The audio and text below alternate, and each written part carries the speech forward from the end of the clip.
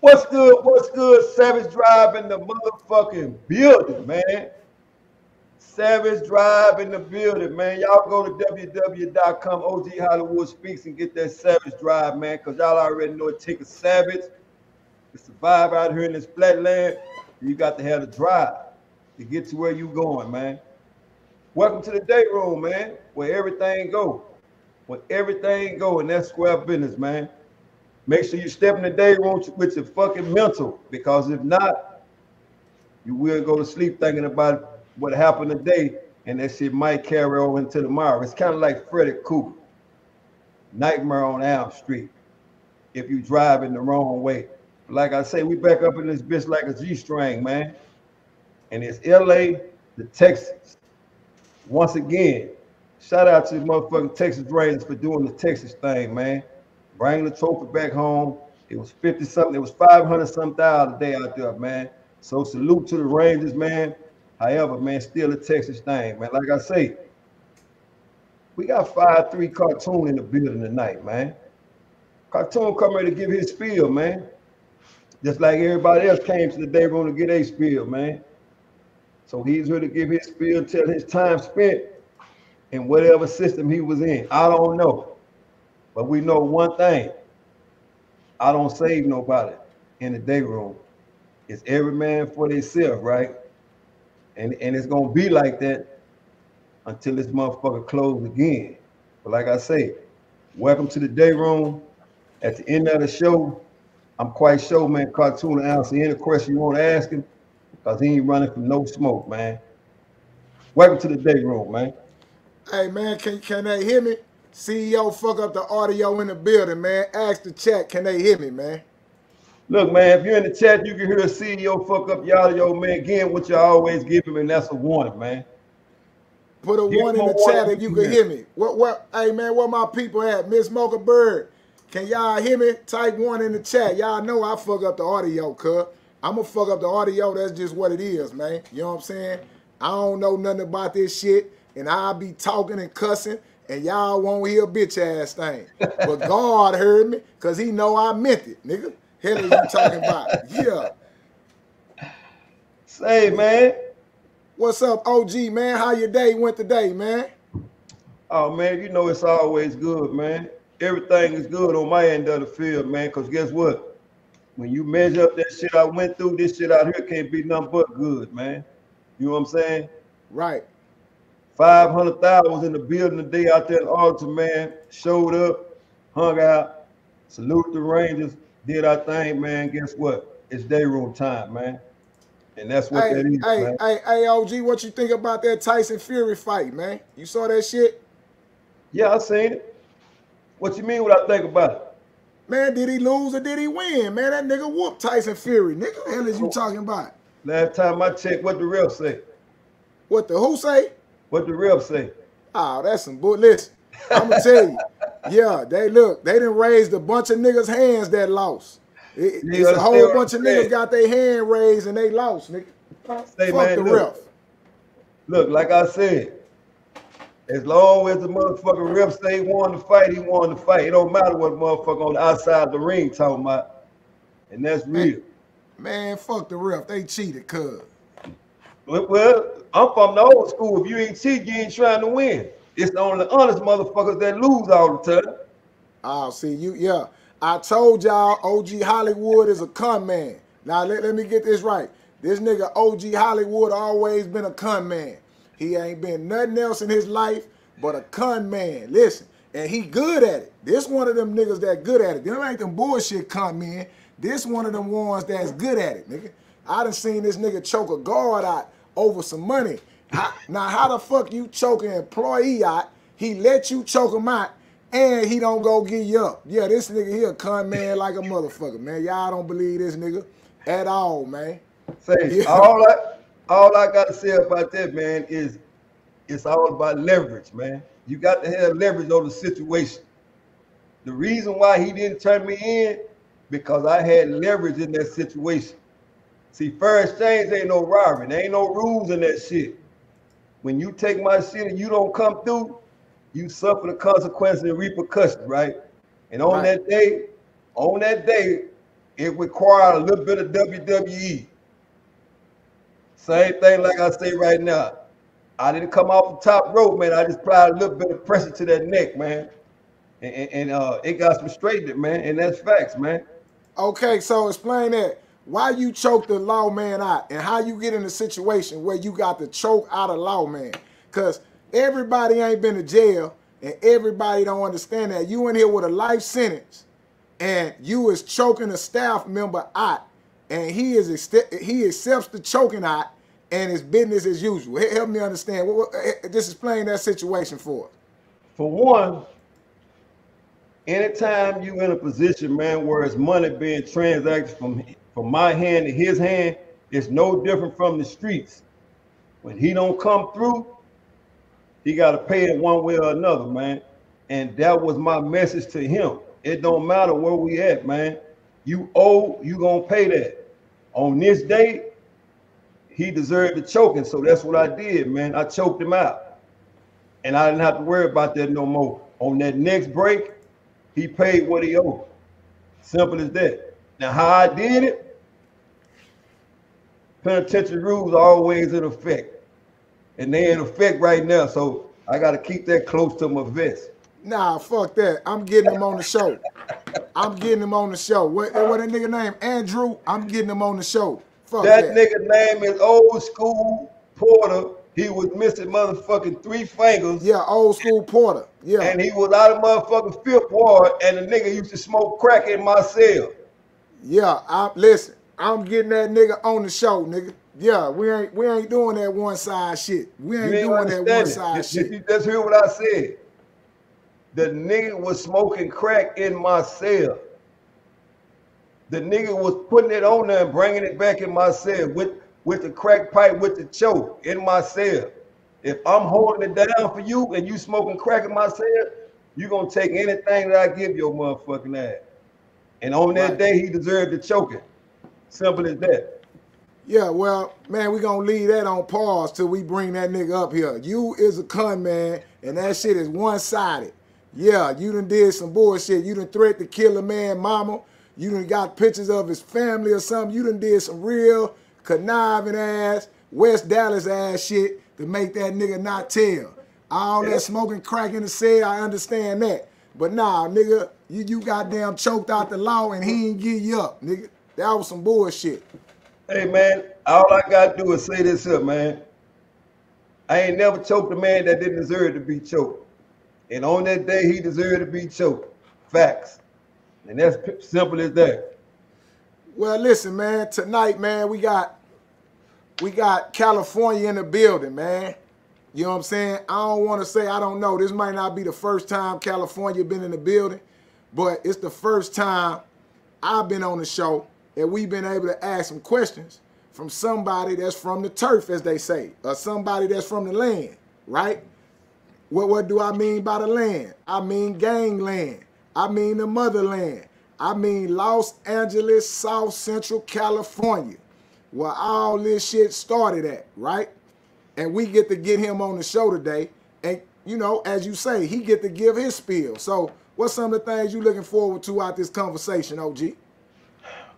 Well, man, you know what, though, man? Uh, you know, I've been around a lot of gang members in my lifetime, some from all around the world, right? And I know they all got their diff- different perspective on what banging is, right? So I'm looking to ask those questions. What's the difference from being from banging in Texas than banging in LA? I need to know that first. And another thing I need to know is where did it all start at? You know, because I didn't hear I didn't hear motherfuckers say that they was in a they was in a crip neighborhood the Crips put them down. They didn't get jumped in. All they did was get put down, right? I didn't heard that story too.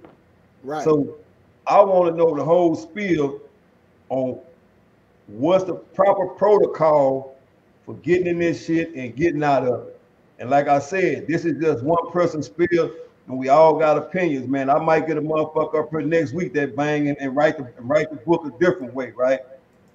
But today, we gonna get it this way right here, man. So uh, What's your spiel on? What you trying to find out? Man, what you mean? How a nigga got in it and how a nigga got out of it? Well, I ain't understand. Now that part is real easy. Yeah, nigga got his ass kicked, and when the shit got too deep, nigga tried to swim out of it. Some niggas ain't make it to land. Some niggas did make it to land. Yeah, that's how that shit went on this end. No, cause I done seen it. I, I done seen it play out different when we was when you know when when I was in that institution. Uh, right. Some motherfuckers said they wanted to exit stage left, right? And the motherfucker said, well, the only way you get out from here is you get life flighted. And where I'm from, life flighted means they need to break your plate at home. You had some niggas that was so serious about that shit, ain't no jumping out. Only way you're gonna get out is you get killed out. Right. So that's why I say it's different with different people. So uh but we gonna get a we gonna get the spill on this shit tonight, man. Like I said, man, for those that just tapping in, man, welcome to the day room, man. Welcome to the day room, man. And that's real, man. But uh yeah, yeah, I gotta put these headphones in, man, so it don't be too much um um echoing going on, man. So cartoon, man, like I said, man, cartoon, uh, cartoon in the chat, man. He say he trying to hit the link, man. Let let let, let me see him homie the link. Yeah, send the link, man. He's supposed to be on this side of the fence, man. What he doing over there? He might have to get DP. might have they, to line, line that shit up. Yeah, man, I'm gonna ask him about that Crip Mac shit too, man. Nigga got lined up out there, man. As they say in the Crip world, nigga, you ain't in here, you gonna get DP when I catch up with you. Whatever that shit, man. Yeah. Motherfucking disciplinary, man. Y'all hit that like button, man. Y'all in the chat, man, hit that like button. I don't know what y'all do on CEO channel, but don't come over here and don't hit no motherfucking like button. I don't know what y'all do over there, but when you come over here, hit the like button, man. That's disrespectful, man. Just like speaking when you come to the house.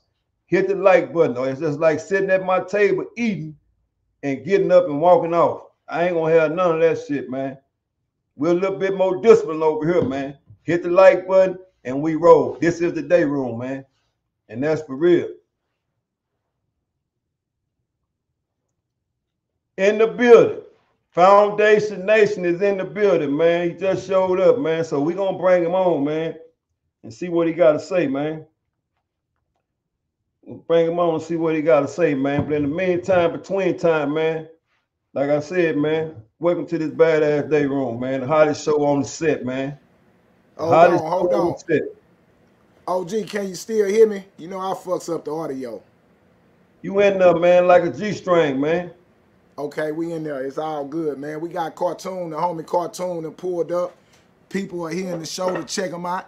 You you told them to hit that like button. Did they hit the like button? And don't talk about my people on here, cuz. Hey yeah, man, talk look, about my people. Look, look, look, look, look, look. First of all, let, let, let's get this shit straight. That's one thing you can't do. You ain't gonna tell me what to say. now, why you wore all that blue? You ain't from nobody set, nigga. Why you on here? Yeah, why you ain't wear that red, nigga? Don't be coming up here cripping all of. I just realized. Don't be coming up here cripping all of a sudden trying to match and shit, nigga. You ain't from that set, nigga. I respect what's in the day room. Oh, okay. Yeah. Yeah. Yeah, I can I I, I can match the energy, nigga. It's a whole bunch of shit you don't know. Okay, How well look. That? You should have wore ski mask because you and the guest known for robbing motherfuckers. Yeah, yeah, both of y'all got life sentences for robbing people. So you should have wore ski mask and not the goddamn blue jacket, nigga. back back in my days, nigga didn't wear no mask, nigga. You went in as is, nigga. It was, I was already understood when you showed up. The people already knew what you come to get. Ain't yeah. nobody playing. Yeah, we are. You already knew when we show up handing it off. That's that new shit. Put a mask on and go in trying to hide and all that shit. That shit didn't go with us. We already knew what time it is. And when we come in, you knew what time it was too. Right. It's on, it's on the two ways out of this shit. Get the money up or suffer the consequences and repercussions. And I don't think nobody wants the consequences. Everybody want to go home at night. So don't try to protect what's yours. That ain't yours. Right. So listen, we got OG Cartoon in the back, man and we finna bring the homie up and we finna get the show cracking. We 20 minutes in and we on time, man. So let's do, let's take care of this business, man, and get this business done. OG, what's good? Oh, what's up, cuz? You all right? Yeah, we good, man. That's what's up, homie. Hey, man, welcome to the day room. That's right. Hey, thank you, man. Thank you, man. Glad to be here. Yeah, Thank man, you. we, we we got you in the building. I got a quick question for you. Have Come you ever been to Texas before? Oh yeah. Okay. Yeah. Okay. I got a, I got a, um, I got a sister that live in Fort Worth. I got two cousins that live in Dallas. Um, I got my son live in Houston. Oh well, shit, man. You you you Texas connected then. Right. I just I just left Texas about let's see, uh, about four five months ago. I was in um I was in Dallas and uh, Fort Worth, uh, for a family reunion. All right. Well, listen, man. This OG Hollywood. Go on, holler at him, OG. What's up, five three? What's, What's good? going on? What's up, homie? Glad to meet you, man. Same to you, man. Like I said, man, you already know when you come to the day room, man. I don't know if y'all been in no Texas prison, but all prisons sometimes run the same, right? The day room is the day room, right? Uh, only motherfuckers that's gonna show up and not blow up the ones come come to the day room. Everybody come to the day room ain't real. We recognize that too, right? Right. Uh, because a lot of shit go on in the day room. So when a motherfucker ain't real, they stay in the house. You know what I'm saying? Yeah. So no, that's real. That's the only way I can give it. You know what I'm saying? Right, right, right, right. And we all know that everybody go down that road ain't real. You know what I'm saying? And it's a lot of motherfuckers stay in the house when when the real shit get ready to go down. Even some of the real ones, if we can agree. Right. You know what I'm saying? But uh, once again, man, like the CEO said, man, welcome to the day room, man. That's what's up, homie. So Yeah, uh, man. Yeah. He say, um, you, you say you've been checking us out, man. Yeah, oh yeah, man. Uh, I I've been um, I say for about uh, let's see, uh, at least at least three months now, man. You know, uh, probably a little, probably might it might be a little bit longer than that, man. I've been um, I've been I've been you know what I'm saying dipping in here, dipping in there. You know what I'm saying? It's a lot of stuff going down. Oh, in Texas right now on this YouTube world, so I keep my ear to the ground. You know. Right, right. Plus you got family, man. Well, listen, man. Time is the most valuable thing we have, man, and we ain't gonna waste your time, man. We appreciate you catching that day room. You know what I'm saying? Catching them doors when they roll. Cause like OG Hollywood say, a lot of people can't come over here, but there's a lot of people that just won't step in the day room. You know, some Right. people get invites and they won't come out. You, you know what I'm Right, saying? right. So I just want to appreciate you for stepping into the day room. Uh, uh, uh, uh, appreciate you for appreciating the content, right? And you know, let's see if we can add some value to these people's life, right? And um, you know, just showing this this um Texas to goddamn Cali connection, man. So give a brief introduction for the people in the day room that don't know who you from. I mean, who you are and where you from. Okay, man. Uh, man, I'm you know I'm cart I'm cartoon one, man. I'm from uh East Side Avalon Gangster Crip, 53rd Street, man. Born and raised in South Central LA. Um, you know, uh, done did a whole lot of time, man. Almost 40 years behind them walls, man. I'm 59 now, and um, I'm just that, that shoot. That's basically about it, homie. You know what I'm saying? With that prison life, that white life, that street life, man. You know what I'm saying? Been doing like you know all of us, trying to make ends meet, trying to make it work. You know. Right, right. Okay, that, that's a good segue, man. So we're gonna kind of switch questions, me and OG Hollywood, and some some some questions may lead to questions, right? So this how we gonna start it off, man. You, you spoke on YA, right? And for people that's in Texas, for the listeners out here, YA is TYC. Here in Texas is called the um, Texas um, Youth Commission, right? Um, in California, it's called YA. What does YA stand for? Youth Authority. Yes, uh, really, uh, the, real name is CYA, California Youth Authority.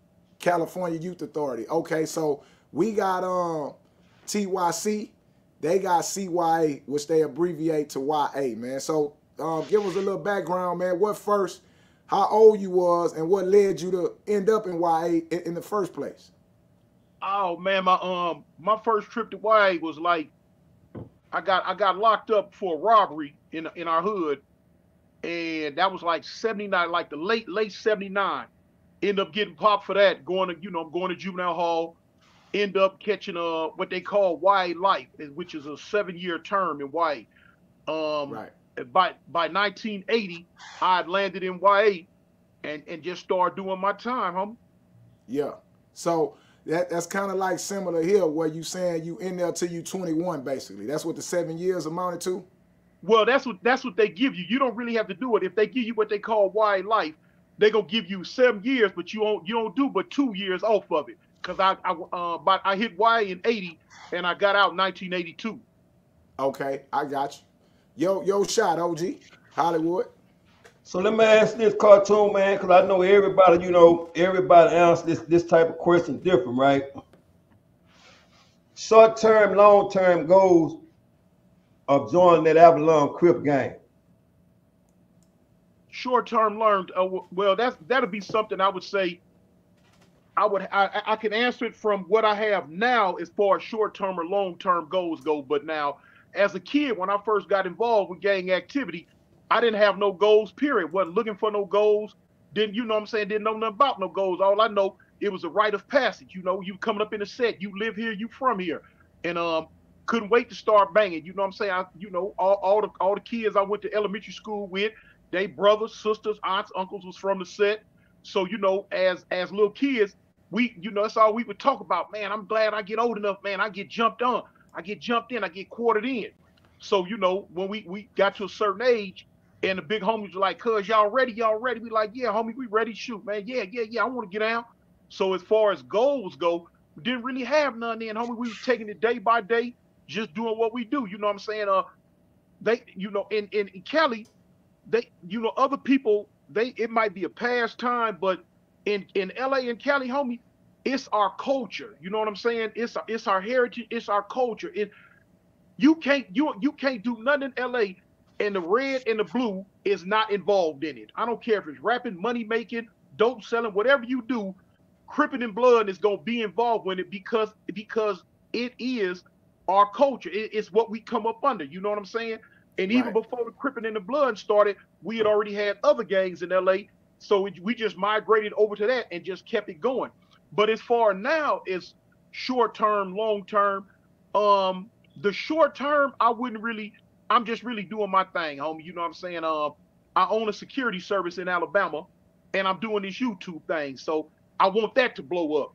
But long term, you know what I'm saying? I can only say that I'm just trying to make sure that me and my wife and my family really don't need for nothing. Man, I was talking to a cat today, and um, he had offered me sixty thousand for my book, and I told him, I said, no, homie, that ain't enough. You know, I ain't gonna do it like that. And um, you know, I guess he spoke with his people, spoke with his people, and they came back. They say, look, man, you know, we've been checking out your, you know, your YouTube channel, checking out this, your story, because my YouTube channel is basically my life. That's an autobiography. I'm just putting my stories that that I happened in my life onto the YouTube. And so they cut they bumped it up to like a hundred racks. Now, and that just that just happened today. So now right. what I gotta do now is just sit down, get that pen and that paper, and start writing. Right. Hey, hey, congratulations on that, man. Um, um, real quick, man. You know that's good, man. That's that's the best thing. This shit gotta equal goddamn some money or equal something. I got another question, man. We kind of jump forward, but tell us um, how you joined the Crips or joined your neighborhood gang. Was it because you was there? Did you get jumped in when you went to YA? Was you already on the set? Um, so forth like that. Kind of give us a rundown of that. What what generation, right? Are you? were you in the first generation, the second generation, or the third generation? And did you go to YA already on the set, or did that happen once you got in the YA? Okay, as far okay as far as um, let me speak on that because I tell people all the time I'm from the third generation, but okay. now there when it comes to when you come to speaking on generations, nothing's written in stone because each you know all these different sets that's in LA they came out at different times. And the generation is whatever your set is. Now say like if, if your set came out at the beginning you go from there. But now you got sets that came out in the late 70s you got sets that came out in the 1980s you got some sets that came out in the 90s so of course they generational different differences would be different. As far as me from my set i'm from one of the oldest sets in la um and I'm I'm what you call the third generation. Our first generation from my set was the Avalon Crips, and then my the second generation was the homies who started Five Trey, the Five Trey Avalon Crips, right. and I came right behind them. Right. Uh, and as far as um, like in in LA, man, in them seventies back then at that time, like I say, banging was a rite of passage. It, it, you know, it was the thing. If you live here, you from here. What no Right. such thing as you gonna live here and run up down the streets every day, and you know the homies gonna see you and wasn't gonna put you on the set because you was gonna get pressed all the time. What's up, cuz? You know when you ready to start banging, and if you was on some man, I you know I want to play basketball. I don't really want to. No, no, no. You- They was gonna pack you out. They was gonna jump you and tell you right then and there, okay, you from the set now. So if, if you done got whooped for it, you might as well start banging. And so that's how that went. Then you had a, but you had a lot of us that couldn't wait. You know what I'm saying? Here we are, you know, seven, eight, nine, ten. We come outside, going to park, we up and down the street. We see older homies standing around, G'd up, you know what I'm saying, doing what they do. And those were the heroes of the neighborhood, those who we admired. And we like, dang, one day I'm gonna be just like him. We I remember um me and my little crew, about seven or eight of them, we would all pick older homies that we wanted to model ourselves after. Like, I'm gonna be like him, I'm gonna be like him, I'm gonna be like him. And so what you know, we just waited until, you know what I'm saying, we was old enough. And usually back then at that time, it was gonna always be between the age of 12 and 14. You know what I'm saying? And um, you you know, you, you one day when you pick it, you come in the park, you come in the hood, wherever you got going on, and you let the homies know, man, what's up, man? I'm ready to do this. They like, you ready, little homie? Yeah, I'm ready. They gonna put them hands on you. Okay, Um, so at, at what, what age did you hit that park and catch that fade? I started banging when I was late 12, going into 13. 13. So what park was it? It wasn't St. Andrews, huh? Because I know that's No. Eight Trey. No, Yeah. no, no. That's on the west side. I'm an east sider, homie. I'm from South Okay. Park, one of the biggest parks in LA. Okay, what? Oh, South Park is where y'all got it on at. Yeah. Okay, okay. Yo, shot hot OG Hollywood. So let me ask this. So you 12, 13 when you got put on the set, right? Mm-hmm. So what was it like when you went to school? What was it like Uh, when you went to school? Before or after? Okay, we'll go before. What was it like for Cartoon going to school before he got put on the set? Uh, shoot, nothing but a regular day. You know, uh, me and all my little partners that we ran with. You know what I'm saying? We was run, we would run around and we was claiming the hood before we got put on it. You know what I'm saying? Right? You know, writing stuff on the wall with markers and you know what I'm saying, claiming it like we was righteous. You know, legit, but we hadn't got put on yet. And um, that I mean, that consists. You know, that that that was every day. You know, um, until the day came when we really got put on. So as far as you know, really wasn't nothing, you know, every day what kids do, you know, 10, 11, 12, just running around, you know what I'm saying, biding our time till the homies recognized us and said, come on, it's time. Fast forward. So now, now you got put on and you going to school. What changed? A whole lot. Um, a whole lot, man. You okay now? You you you walk different. You walking different. You talking different. You looking different. You feeling different. You acting different. You know, as a young kid, now it's in your mind. Oh shoot, I am official. I'm really from the set now. You know what I'm saying? So, um, you trying to, you know, you trying to be tough. You trying to have a certain type swag. You know, the little girls, they they noticing a little difference. So you like, oh, you from a gang now? I'm like, yeah, yeah, yeah. I'm I'm whoop whoop wham. So uh now here come the, you know, you picking fights with the bloods, if if if there's if there's any at the school you at. Um, and you just going through the motions of trying to make sure that your homies recognize you, they see you. You know what I'm saying? You doing every little thing. You might be a young kid, but now you want to go put work in. So at back then, during my time, you know, it's usually with the shotguns. And so, you know, uh, homies, if they, you know, they feeling you, they like, come on, little homie, get in. You know, you in the car, homies doing drive-bys, you in the car, you looking, you know, I'm like, you want to bust? Yeah.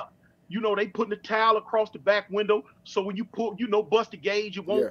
you know, hit too hard or do Yeah. something. And you doing some, uh, they give you your first joint, they give you your first, you know, drink, and you just, you know, you just happy to be around. You hanging out, little kid, sucking up all they talking about, all that. So now you at school, you you know, you tough. Uh now this is when you're starting to get kicked out of school. You fighting.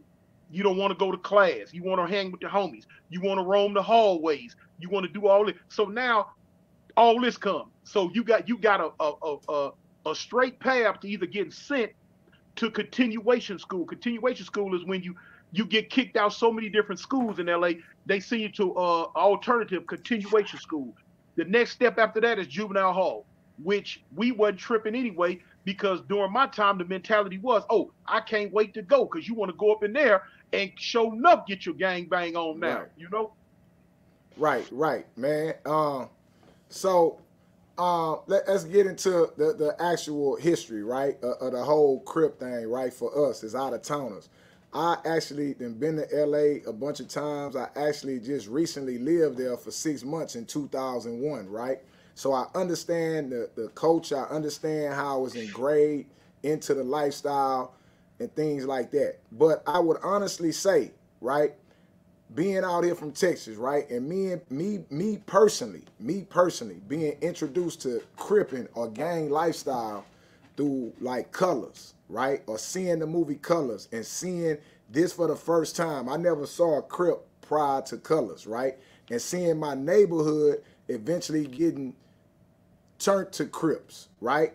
As you know, the drug game starts spreading more, and people from LA start showing up and things like this, right? And then me myself getting put on the set and things like that, right? This what I didn't know about it back then that I know now about it, or, that, or the way that I perceive it now. Back then, for us, if if you was a crip, it it encompassed everything with the blue flag, right? It's like, hey, we Crips and we ride with Crips. End of discussion, right? It- it's not until me going to LA and me being around people and being around the culture that I understand that the whole Crip thing was like a, a adjective to describe what kind of gangster you was versus us being like all Crips because I'm like, well, hey, how did niggas start banging against each other? Well, they like, hey, back then it was old school gangs, old school gangsters. And we people didn't want to be labeled whatever that other, you know, the old way. The new way is the Crip way. And we Crips. And so amongst the youngsters, it kind of just spread it in that manner. So now that I'm old, I say, damn, so now I see why it was more in y'all area, the set versus the color. I, I- I don't I, I don't know if I'm making sense there. I'm trying to understand it. Okay, so so my question is is how did it go from being just a Crip thing, right? Let's say like a Raymond Washington creating the Crips to it being and you you might not have this answer, right? This not a this not something you may be able to answer, right? But this may be something you could give a little context to, right? Because you much older. I'm 45, you 59, right? I'm saying at the inception of it being a Crip thing on the east side, right? how did it transform to so many different sets and so many an- animosity amongst just you know how, how did the brotherhood go I got yeah I got in, in other you. cities in other cities when you get to alabama where the culture isn't there right or in texas we all crips you, you, am i making Yeah, sense no, I, I know. yeah no, I'm especially gonna answer that for you. All I'm right gonna answer that for you because I know exactly what you're talking about. Okay, uh, I had a I had a um conversation earlier today with one of my partners. He in Texas right now. You know what I'm saying? And um, we was talking along that lines. But okay, you okay? Look, from '69 to '79, you had pure, unadulterated cripping. You know what I'm saying? No matter what part of LA you, if you throw that C up, you was accepted by the other Crips. Um, it started on the east side. Raymond Washington started on the east side, and then he took it to the west side. Now, I'm finna, I'm finna enlighten a lot of people to something that uh some people might, you know, want to get upset about. Like, no, no, no, no, no. You hear a lot of people on YouTube, you hear a lot of people on TV say that uh like Big Tookie was a co-founder of Crip. Took wasn't no co-founder of Crip. No. Raymond, when he started it on the east side with, his partners, after a year or two, he took it to the west side and gave it to Took and all of them over there. And they took it and ran with it. Now they yeah, he did help. He was very influential and spread it on the west and side growing it and growing and it growing it. But when you say a co-founder, that means you was there when the, of the inception of it, and you helped form it and make it. No, Took didn't do that. Raymond and his crew did that on the east side, and then put it on the west side, and it spread it like that. Um, Right. so now once it starts spreading, it starts spreading, it starts spreading. around it was just at the beginning it was just East Side Crip and West Side Crip. Okay, around 70, 71, you had a set on the East Side came out called Castle Crip. They played out. Then right behind them, you had you had the Avalon, my set, the Avalons and the kitchens, Q102s, you know what I'm saying? Dudes start taking upon themselves to say, okay, we want to put our own name on our section. We will, we all live here. We want to be called this. We all live there. We want to be called this. So that's what that's when the name giving start giving. So once you see these cats over here start calling themselves whatever they was, they like, well, shoot, homie, we gonna call ourselves this, this, this over here. And it went to the west side, and they started doing the same thing. Boom, boom, boom, boom, boom. So now it was all good at one time.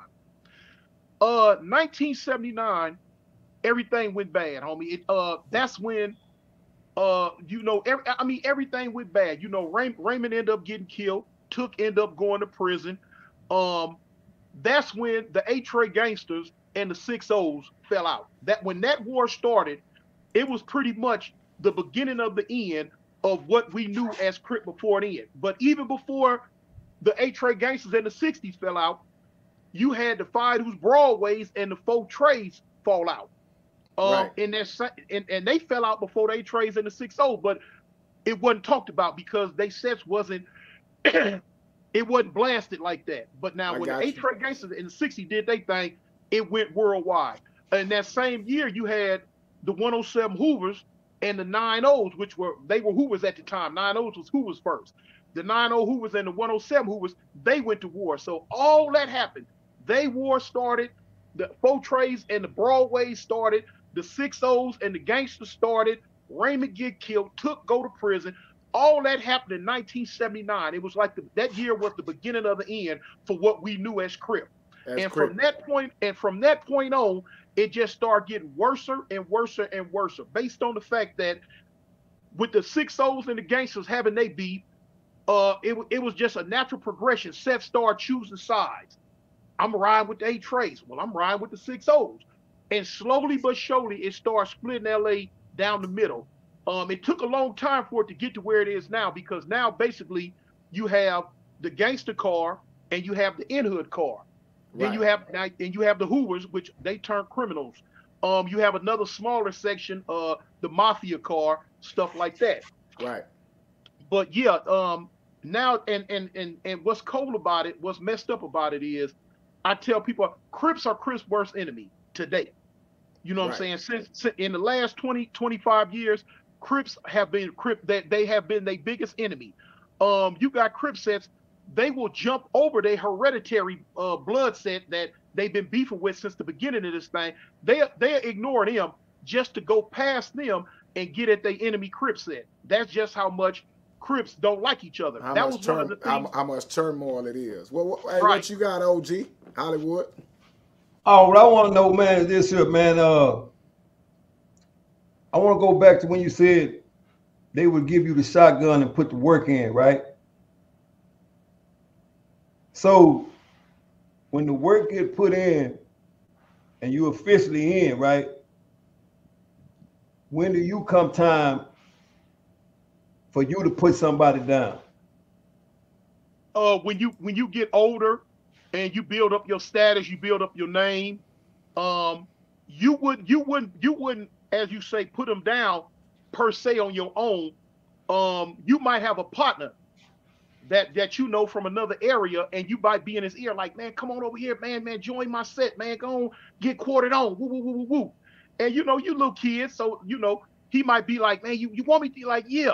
And what you what we did back there, you would bring him to the set and tell the other homies, like, look, cuz, hey man, this such and such is my partner, man. You know, he live on such and such. He want to be from the set. And so the homies would be like, "Oh, is that right?" Like, yeah. Okay, well he got to get out. And there, and it go from there. They're like, "You want to bang from the set, homie?" You're like, "Yeah." Okay. They'll put him in that circle and go ahead and put them hands on him. And after that, you know what I'm saying? He in. Yeah, he, he get out. Okay, so real quick, I just want you to break this down for me real real quick. What set does your car align with now? I'm out the gangster car. I'm from Avalon Gangster. We out the gangster car. Okay, y'all in the gangster car. So that's also with the trays, right? Yeah, uh yeah, with the with the trays. Um anything because the, the number ain't really gonna make a difference. But like, anything that got a gangster in their name, you know what I'm saying? As long as they, Right. you could be such and such, such and such gangster crip, you in the gangster car. I got you. I got you. All right, man. We gonna we gonna keep it moving, man. Keep it moving on, man. We gonna get to um. We gonna get to doing prison time, man. Let's talk a little bit about the prison time because you did a bunch of time in YA. You get out of YA. Um, how long is it after you out of YA that you end up in the actually California State Prison? And what's the first prison you went to as an Uh, adult? I got out of YA, and when I got out of YA, I stayed out a month and a half and came right back and went to prison. Went to the county jail. You know, in our county jail, you got the CRIP module. You know what I'm saying? 4800, 4700. And from there, went straight to uh went straight to uh San Quentin. But now, a lot of people say San Quentin, I wasn't behind the my first term. I really wasn't behind the wall like that. You had another unit called H unit. Um, I got I got a I had took a deal for a year county lid, but now I wasn't even a county lid. I just took a year. No, I took a deal for 16 months. Now in Cali at that time, 16 months you gonna do um eight months, 20 days. Um, or you could just do what they call a county jail lid. Man, the county jail so unhealthy and nasty. I told I told I, I, I look, man, I'm not staying in this county jail. Go ahead and send me to prison. So my, my lawyer was like, well, you know what I'm saying? You go to prison, we gonna have a record and you're gonna have to um, you know, get take more time. I'm like, well, you know, that's what she she told me, well, well they'll give you 16 months. I'm like, okay, if I get 16 months in the pen and I go and I'm gonna go do eight months, 20 days, or I stay in the county jail for the eight months, I mean, go go send me to prison. And that was my first bid. I went I went there, got out again, stayed uh I stayed about two months and went back and showing up star bidding in. Oh, okay, I got it. Before you go to your question, Hollywood, let's ask him this. What's going on in this picture right here? Uh, let me see. I had just got out of prison. I've been out of prison about two hours. Man, that's my that's my road dog. Man, that's that's my heart, my other half. Man, that's Mr. Crazy Ray. He AIP right now. I had been home about oh maybe maybe about 30 minutes, and Cuz found out I was when he, he knew I was out. He came to the house. My baby mama was the one took that picture. Right. I I I I O G, what you got? So I noticed you said module, right? Uh, I mean, I never heard of that until you said it now. Of course, I'm not from LA, right? Uh, I'm Texas bound, but go ahead and explain to the people what that means and what could a person expect when he go to the module. okay, uh, uh, the, the word module is just used for another word for saying your unit, whatever unit you in. They just, you know, call it a module. Um, the module I was in was the CRIP module, 4800, 4700. I went to 4800 first, and then we eventually opened up 4700, and I ended up over there. Uh, 4700 and 4800 was the CRIP module. The police had to make that module because LA County had so many Crips in it running around the homies was wrecking shop, tearing stuff up. You you got you got to look. You got thousands of Crips, young wild dudes that's off the chain, beating up white boys, beating up Mexicans, beating up Bloods, beating up any and everything that they can get their paws on. So the police was like, man, look, we need to put these dudes in a certain area where if they want to beat up something, they can't do nothing but beat up themselves. 4800 was born. Um, 4800 was born about 1984.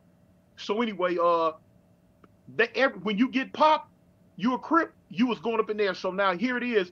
You got a uh, you got a unit. You got 13 cells up. You got 13. Was it 12 cells or 13? Anyway, you got 12 or 13 up. You got 12 or 13 down.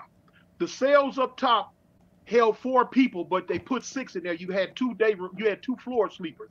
The cells downstairs held six people with two floor sleepers. So you got six people up in the top cells. You got eight people downstairs. Um, and you just in there, homie. You know you and when you got all these crips, you can't come in there, snitch jacket, a buster, a mark, a hoe, anything. When you get caught up in that crip module, you gonna be down for your grits and gravy, or you was gonna get tested, beat up. Uh, I ain't gonna and I ain't gonna sugarcoat it. You you had some fools in there might rape you and all that. So you know if you came up in there and you wasn't down for your crown, you know what I'm saying? You punking the game, you got to stand on your 10 toes. if you in a cell, you might be in a cell upstairs with a, with like seven, eight crips from a different set, but now you got other homies in there, but not in a cell with you. You might get in an argument over the cards, candy bar, or whatever, and it's Right. time to get out. And you don't want to get out because you scared. Man, dudes finna get on the bar like, hey, woo, woo, hey man, your homie up here punking the game. Man, this fool's straight up mark. What are you doing? Yeah. woo, woo, woo, such such won't, and he want, and, you know, hey, hey, y'all can have it. They'll throw you to the dogs, and boy, hey, look, you seen a bad day then, homie. Hey, I, hey. I was just finna ask you that cartoon. I heard about the Crip module through YouTube, right? Um, probably the homie Kev Mac videos or something like that. But um, give us your worst day in the Crip module, man. Give give us cartoon worst day in the Crip module, whether whether it was something you experienced or whether it's something you watched go on. What was your worst day in 4800? If you could just sit back and remember, like, man, this shit fucked up, but this is what it is. I would say I would say it would have had to have been when I when we when they put us next door when they because there was so many Crips they couldn't fit no more of us in 4800. That's when they end up opening up 4700. Um, so the police came one day with a clipboard and they was telling all the sets that's going next door, such and such, y'all going woo woo woo, and they calling out sets. If they call your set, go ahead and pack your stuff. you're going next door to 4700. Uh, okay. When we got we got next door to 4700, it was about it was about uh you I would say between 14 to 17 nine O's already over there. They couldn't put the nine O's in 4800 because there was too many Eight Trey gangsters and too many Hoovers. Uh, that'd have been a bad deal for them. So they put them next door in 4700. So when we end up opening up 4700, all these Crips came over. So we was over there, I say, for about a month, maybe a month and a half, and the nine O's got into it with the Watts car. So a lot of times you got it's the Watts car, but now even though a lot of sets in Watts, Compton, South Central, whatever, they might beef on the streets, but now everybody know it's strength in numbers. So when you come to jail, you put that to the side. Now we the Watts car. And at that time, the Watts car might have been 50 deep, but they end up getting into it with the nine O's. And um they end up when the when the doors racked, it was a big old ride. You know what I'm saying? Um it wasn't it was about me and about four more, about five Avalons up there. You know, I got all my homies in the corner. I'm like, cuz man, let's get up against the wall. We ain't got nothing to do with it. So other sets getting out the way and they they bumping upstairs, downstairs, coming over the tier, down the back stairs. They doing their thing to the riot squad. The police was able to get in and break it up. But uh, we had been on lockdown.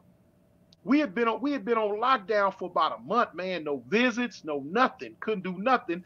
And um, no sooner as we was getting to come off lockdown, uh, who? can- I mean, the Venice Shorelines got into it. If I can remember right, I think the Venice Shorelines got into it with the Harlems. And now here we here it is. We on lockdown even longer. That was about, that was about the worst thing. you know what I'm saying? Hey, Hollywood. Hey, Hollywood, tell them, tell them what we call that shit in Texas prison. Week one, day one. Nigga ain't no coming up. Ain't no coming up week one, day one, man. Week, week one, day one, tune. So in our situations, we go on lockdown and we got to go through the lockdown program.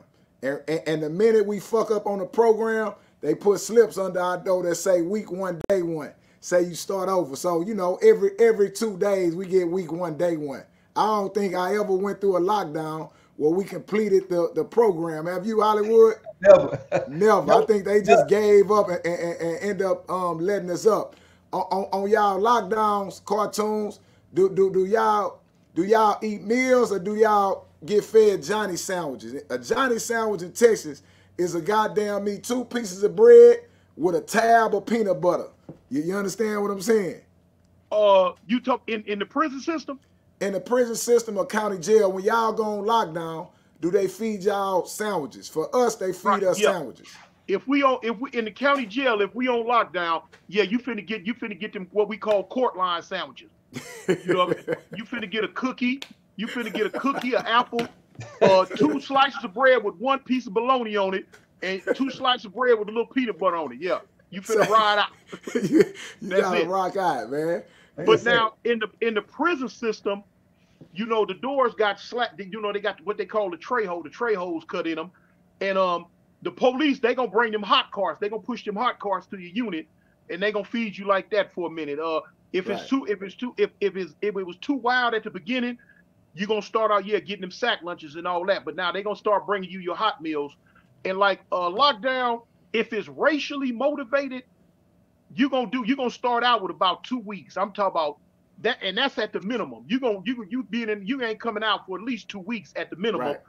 But like uh depending on what it's gonna be, because if it's racially motivated, soon as the gates rack, it's going down again. So we go we end up doing, you know what I'm saying, three, four months anyway, all the time. So, you know, it is what it is. So let, let me ask this cartoon, uh, because like I say, the the the day rooms down here is set up different, right? It's set up segregated, right? So h- h- as far as being in your day room, as far as the gangs and all that, right? How is it set up? Um, it depend. Okay, it first off, it's gonna depend on what prison you in. Some prisons, a lot of prisons, you ain't finna even get no day room time. That's what come. Well, Here ain't, ain't no such thing as day room. You in that cell. but That- now that's that that's why they- shoot. That's that well, shoot no, that's, shit on, that's in pop. No, that's in population. oh, okay, okay. You know, and uh, that's why they sell they sell you TVs. You have a TV in your cell, and they sell you a hot plate. Cause you know ain't no day room time and all that. Now you know what I'm saying. Now uh uh get in that cell. Cause blacks and Mexicans cutting the food 24 seven with each other. But um for the spots that did have day rooms, uh the, you, everybody you got okay you got you got the Crip car, you got the Blood car, uh you got you got the BGFs, um then you're gonna have what's called others. That's like races. That's like races.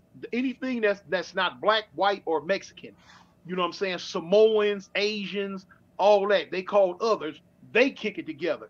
Then you got the Southern Mexicans from Southern California. You got the Northern Mexicans from Northern California. Then you got the white boys. Um, everything is segregated. Everything. There's no such thing as going in a cell with somebody that's not of your race. You you go you got you got to they gonna always put you in a cell with a black with a black, white with a white, Mexican with a Mexican, or whatever. And um and that's how everything is uh like in, on the iron pile, the iron pile is segregated. You got the black part, the white part, the Mexican part. Um, we don't we don't play no games that can play that can bring um body bodily contact. It's non-contact. Now we'll play handball against the Mexicans every now and then, but like basketball, football, anything, anything where you can hit, they don't play that. It's none of that. No, no, no, none of that. No talking, no, no, none of that. And a lot of times we're not gonna eat behind each other. We're not finna drink behind each other. We're not finna smoke behind each other. Not finna do any of that. Uh, California prison system is probably one of the most racially segregated prisons you gonna ever go to. Right. Okay, I, I got a question. Out here in Texas, right? The gang shit kicked off for us in the 90s, man. It got real out of control early 90s. I mean, pr- pretty much the rest of the nation. Not Mhm. only Texas, but the, but the rest of the nation, pretty much, right? And Texas was one of the first hotbeds, you know, to adopt that that that gang culture with cities like Fort Worth, right, kicking things off. Um, cities like San Antonio kicking things off. Cities, you know, like that, right? That that really adopted it early on in the late 80s, early 90s. Out here, we run what we call a checking system when you come through the door. Now I'm talking about prison, right? So so when you come through the door, if you say you're a crip, right? We ask what set, right? And then it's a checking process go on, right? Depending on what set and what city you from, same way like California. But I, I guess you know, in, in- back then in Northern California, you, you didn't have the the crip element like that coming out the north back then. So out here, it is segregated first from North Texas, South Texas, right? Okay, that's the Houston, that's the Dallas, and, and, we just gonna relate it as cars, even though here we don't say cars, we say cities, right? Mm-hmm. So you got the Dallas car, you got the Houston car, and then amongst that you got what set you from, right? But we run checking sessions the minute you hit the door when I was in the system, right? Especially if you rep the set. If you didn't rep a set, because you know we in a state where everybody didn't gang bang like OG Hollywood. He, you know, he's a real G, a real gangster, but he wasn't with the Crip and Blood thing. You understand what I'm saying? So the people that didn't rep sets, we call neutrons, right? In my day. So it's like, oh, he a neutron. He Hollywood would laugh at that shit and say, "You niggas the dumb." You know, Hollywood like fuck y'all niggas talking about you niggas, you young punk ass niggas, you crip ass niggas ain't shit. So, but but um, how did the checking session go for somebody coming to the main line in prison in the state of California in your day? Was it a checking session? Nah, nah. Um when you came in, you go you go to what we call fish row. You know what I'm saying? Uh, you go you go you gonna kick about ten days on fish row before you come out. Now, like I say, not nine times. Well, I would say ten times out of ten, anybody coming in that's banging, you know, they was already banging on the streets. They homies know them and all that. So when you come in, whatever set you from, when your homies find out you there, they go, oh yeah, that's the homie, cuz he finna hit the main line. Woo woo woo woo. And it's just that. As far as checking, no, they didn't. They didn't really have to do that. Um, not a whole, not a whole lot. Um, no, not not period. When it when only it went in the down, county. You say you say only in the county checking really went on. Not even not even really in the county, because see, you got to look. You can't do what you want to to somebody else homeboy. Now, if you if anything that any type of uh actions that's gonna be taken against you, it would have to be from your set. And if you cool, you know, you coming in everybody in there you growed up with that's from your set, y'all in there, they just glad to see you. You know what I'm saying? Now, as time went on, if you got into it with somebody and you punked the game, now that's a whole different thing. Now fools looking at you sideways, like, hold up, cuz. Man, you don't get out with that fool or what? Oh man, he, no, fool, you gonna get out with him. If he punked the game, then they go, you know what I'm saying, they gonna feed him to the wolves. Right. But uh, I got you. So everybody coming from the county jail knowing each other, by the time you hit the prison system, you know what I'm saying? You just you just there. Now, out when I was in the Alabama prison system, I had a I had a um I had a checking ritual. I yeah, did. yeah, yeah. I, I was gonna ask you that, but go Hollywood. You got one for him? So down here, right? Because I noticed you said y'all didn't uh y'all didn't go eat. Everything was done in the cell, right? Okay, what about when it's time to take a motherfucking shower? How that play out?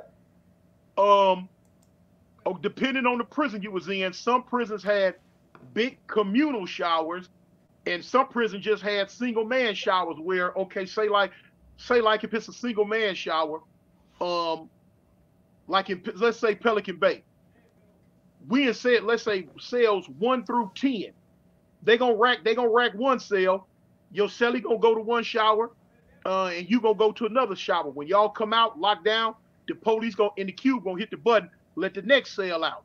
And they just run it like that all the way through. Now, if they had communal showers, you know what I'm saying? You just you go you go in the shower. Put them state boots on, you know what I'm saying? You ain't coming out with them flip-flops on, none of that. You go in the shower with them state boots on, you got your flip-flops rolled in your towel. Nine times out of ten, you got that heat rolled in your towel too. And um, you know, when you get to the shower, boom, you come up out your state boots, put the flip-flops on, get your shower out the way, and come on in. You had a lot of dudes that showered with their shirts on, me being one, because uh, we were so serious about that iron, we didn't want nobody yoke, what we call yoke checking, trying to see your progress and all that. I'm literally used to shower, soap up and all that with a, with, with a state shirt on, you know, rinse it okay. off, come on out, boom, boom, boom, like that, you know. Okay, I'm glad you said that. That, that, that that's what we finna ask you. I got I got another photo for you. Hold on.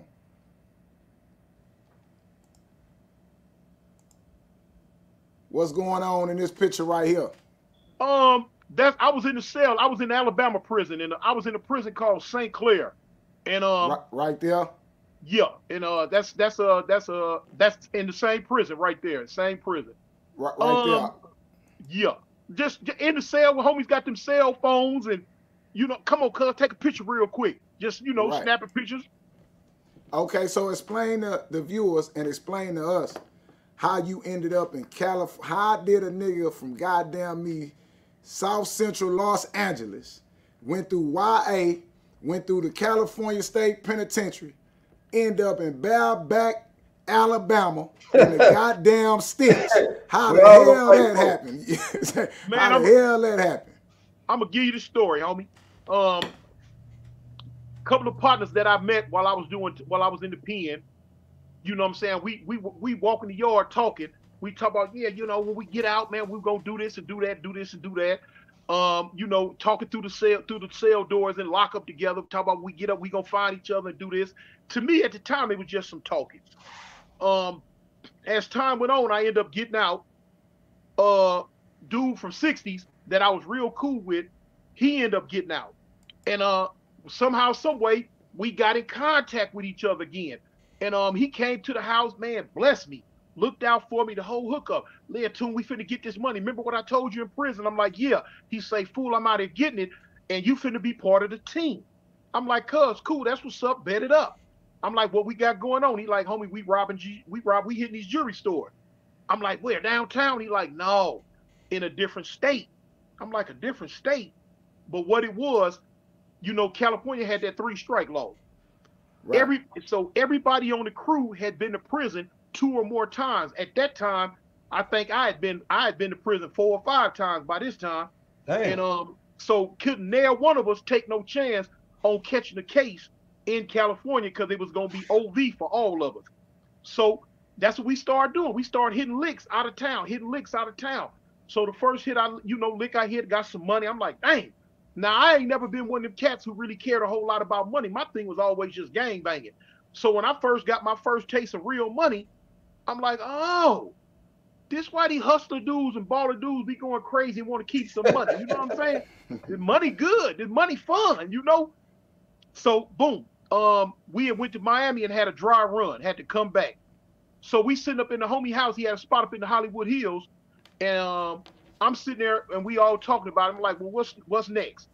So the next thing on the list, because we had a, a piece of paper with a list of stuff, it was an armored car in Florida. So I'm like, man, I don't know about that armored car because nine times out of ten, if you hit an armored car, you're gonna have to kill somebody or hurt you're somebody. You're gonna have to do some shooting. I, right. I really didn't want to do that. So I'm like, well, what's next on the list? The homie say, man, we got a jewelry store in Alabama. I said, Alabama? I said, man, I said, homie, I said, hold up, cuz. How they got a jewelry store in Alabama? I said, man, they don't even wear shoes. so, and I really, really felt like that. I really, really felt, I'm like, cuz, man, I ain't got a jewelry store, man. They don't even got shoes on out there. So he was like, no, cuz, I'm telling you, man, I've been out there because, you know, different places where they done been through and they just write it down for a later date. So we agreed, okay, we're going to come out here to Alabama and hit the lick. So we come out here try to hit the lick. The next morning when we go to hit the lick, we can't even find the jewelry store that we were supposed to hit.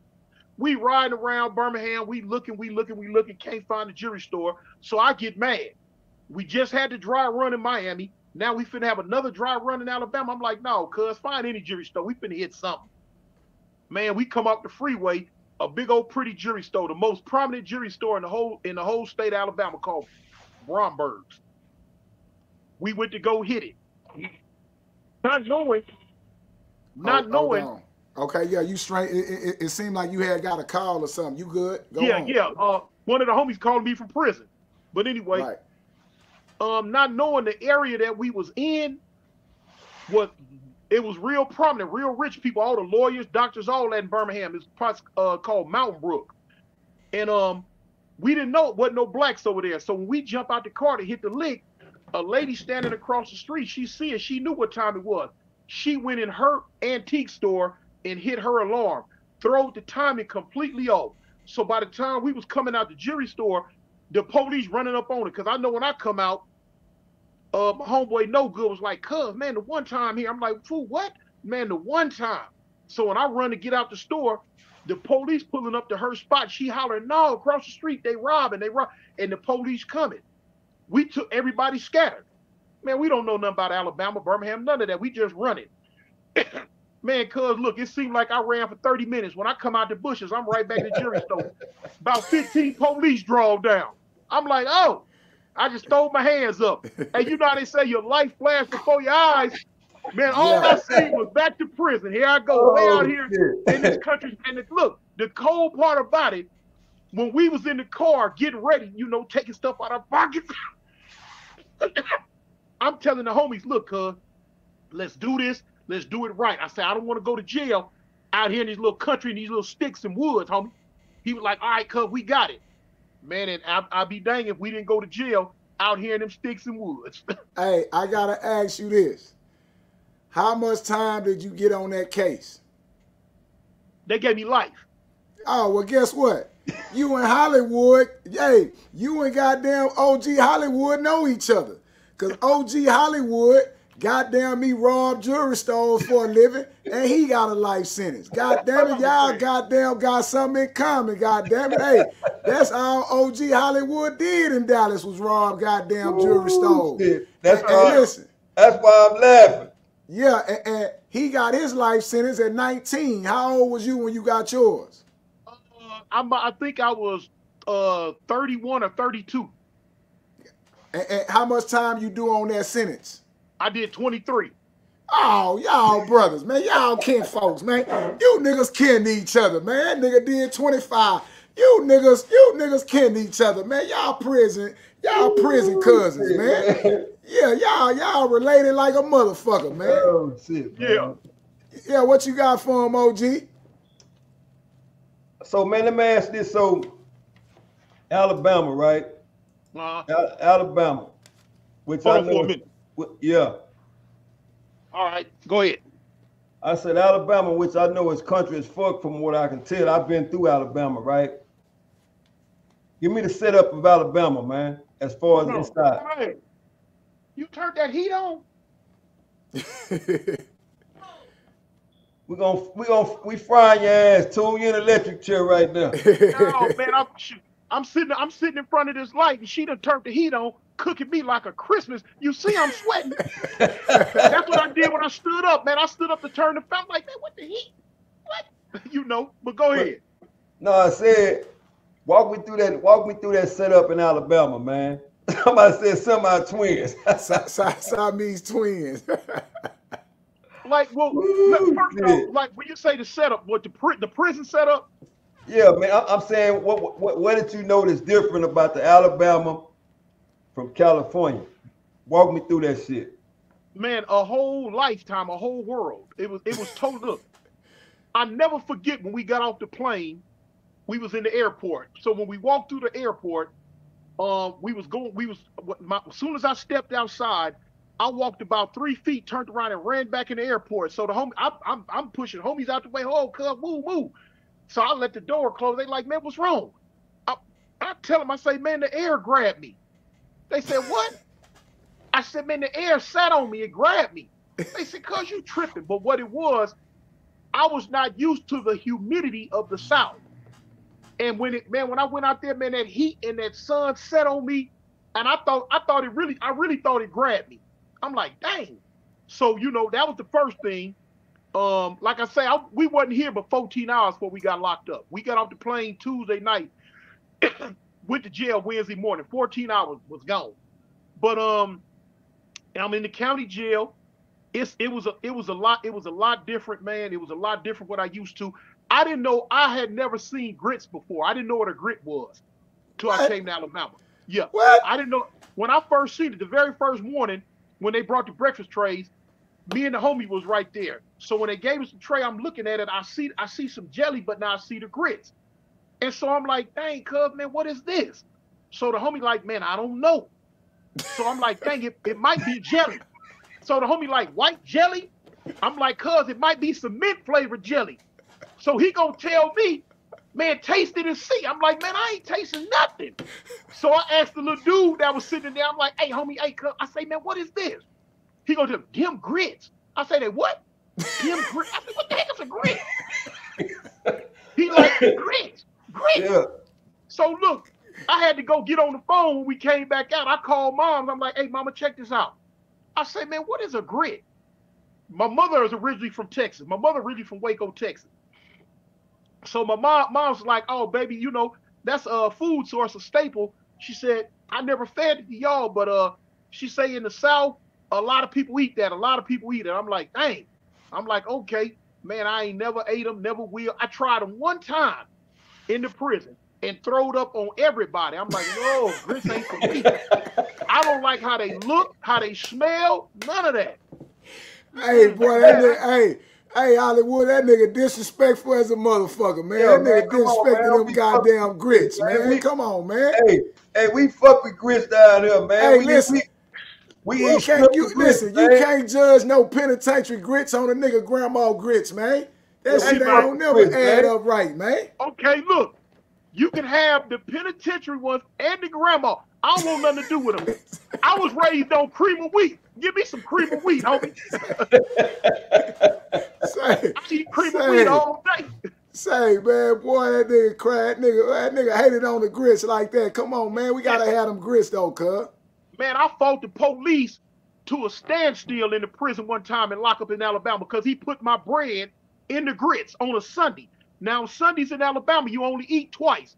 You What? eat real you eat yeah, you eat breakfast real late, about 10 o'clock, then you don't eat again till dinner. And uh, dinner on a Sunday go always either be baked baked chicken or fried chicken.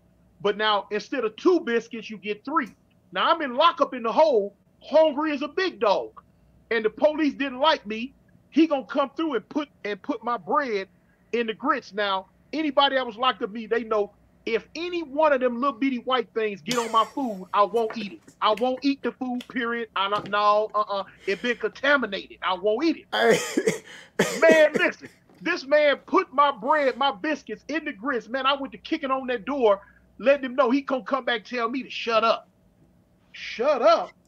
Now, of course, he can't know me because I'm one of them ones. Look, homie, I ain't gonna even front. I slang doodle and piss if you piss me off. In that Hold up, locker. hold up, hold up, hold up, hold up. hey, Hold up. he, he, he old shit slang Hollywood. So let Yeah. me ask you this. Cause motherfucker done throw some shit and piss on me because I was the SSI, right? So I gotta ask you this. You was a shit slanger, right? Yeah, So did you put your shit in the milk carton and let it get old? man, I put look, hold up. I look, I would put it, I would put it, I would put it in the milk carton and let it get let it sit up and get real old. Now, and, sometimes I put it in the shampoo bottle. Look, I squeeze it, I squeeze it and put it in the shampoo bottle with some piss and put it up under the bed, way in the back, and let it sit. So when I want it, I, it's like a like a laser gun. Man, I stick that bottle out that tray slot and each So so let me ask this here, Tone, cause uh, I, I I got to know because I ain't never seen that shit get concocted and get put together, right? So you mean to tell me when you shit, you take your time, load all this shit up in that spray bottle or in that motherfucking milk carton, right? Mhm. What was the average time or date that you let that shit sit up under that bed? Oh man, man, I done had some sit up under there two weeks. Two weeks. Oh yeah, like it ain't nothing. Man, that shit kill a motherfucker, man. Exactly, cause okay, cause now, like in Cali prison system, we'll take our knives and put our knives in it and let it sit. You know, cause it's it's bacterial, it's poison. Oh, it's poison. Yeah. Right. So when we hit you, even if we not hitting the main artery or you know what I'm saying, a main point, that that that that bacteria from that feces is gonna fester and mess you up regardless. So let me ask this here. So when you put all that shit together, right, hmm and you dash a motherfucker, right?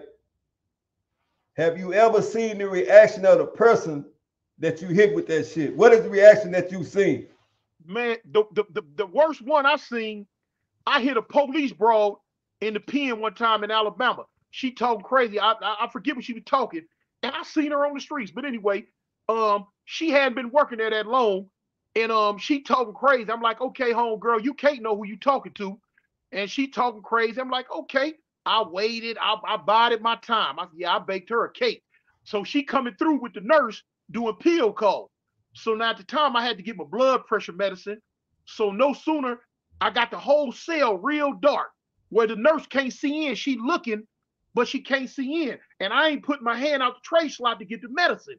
So she like calling me, calling me. I ain't saying nothing. I, I got I got I got the cup right there waiting.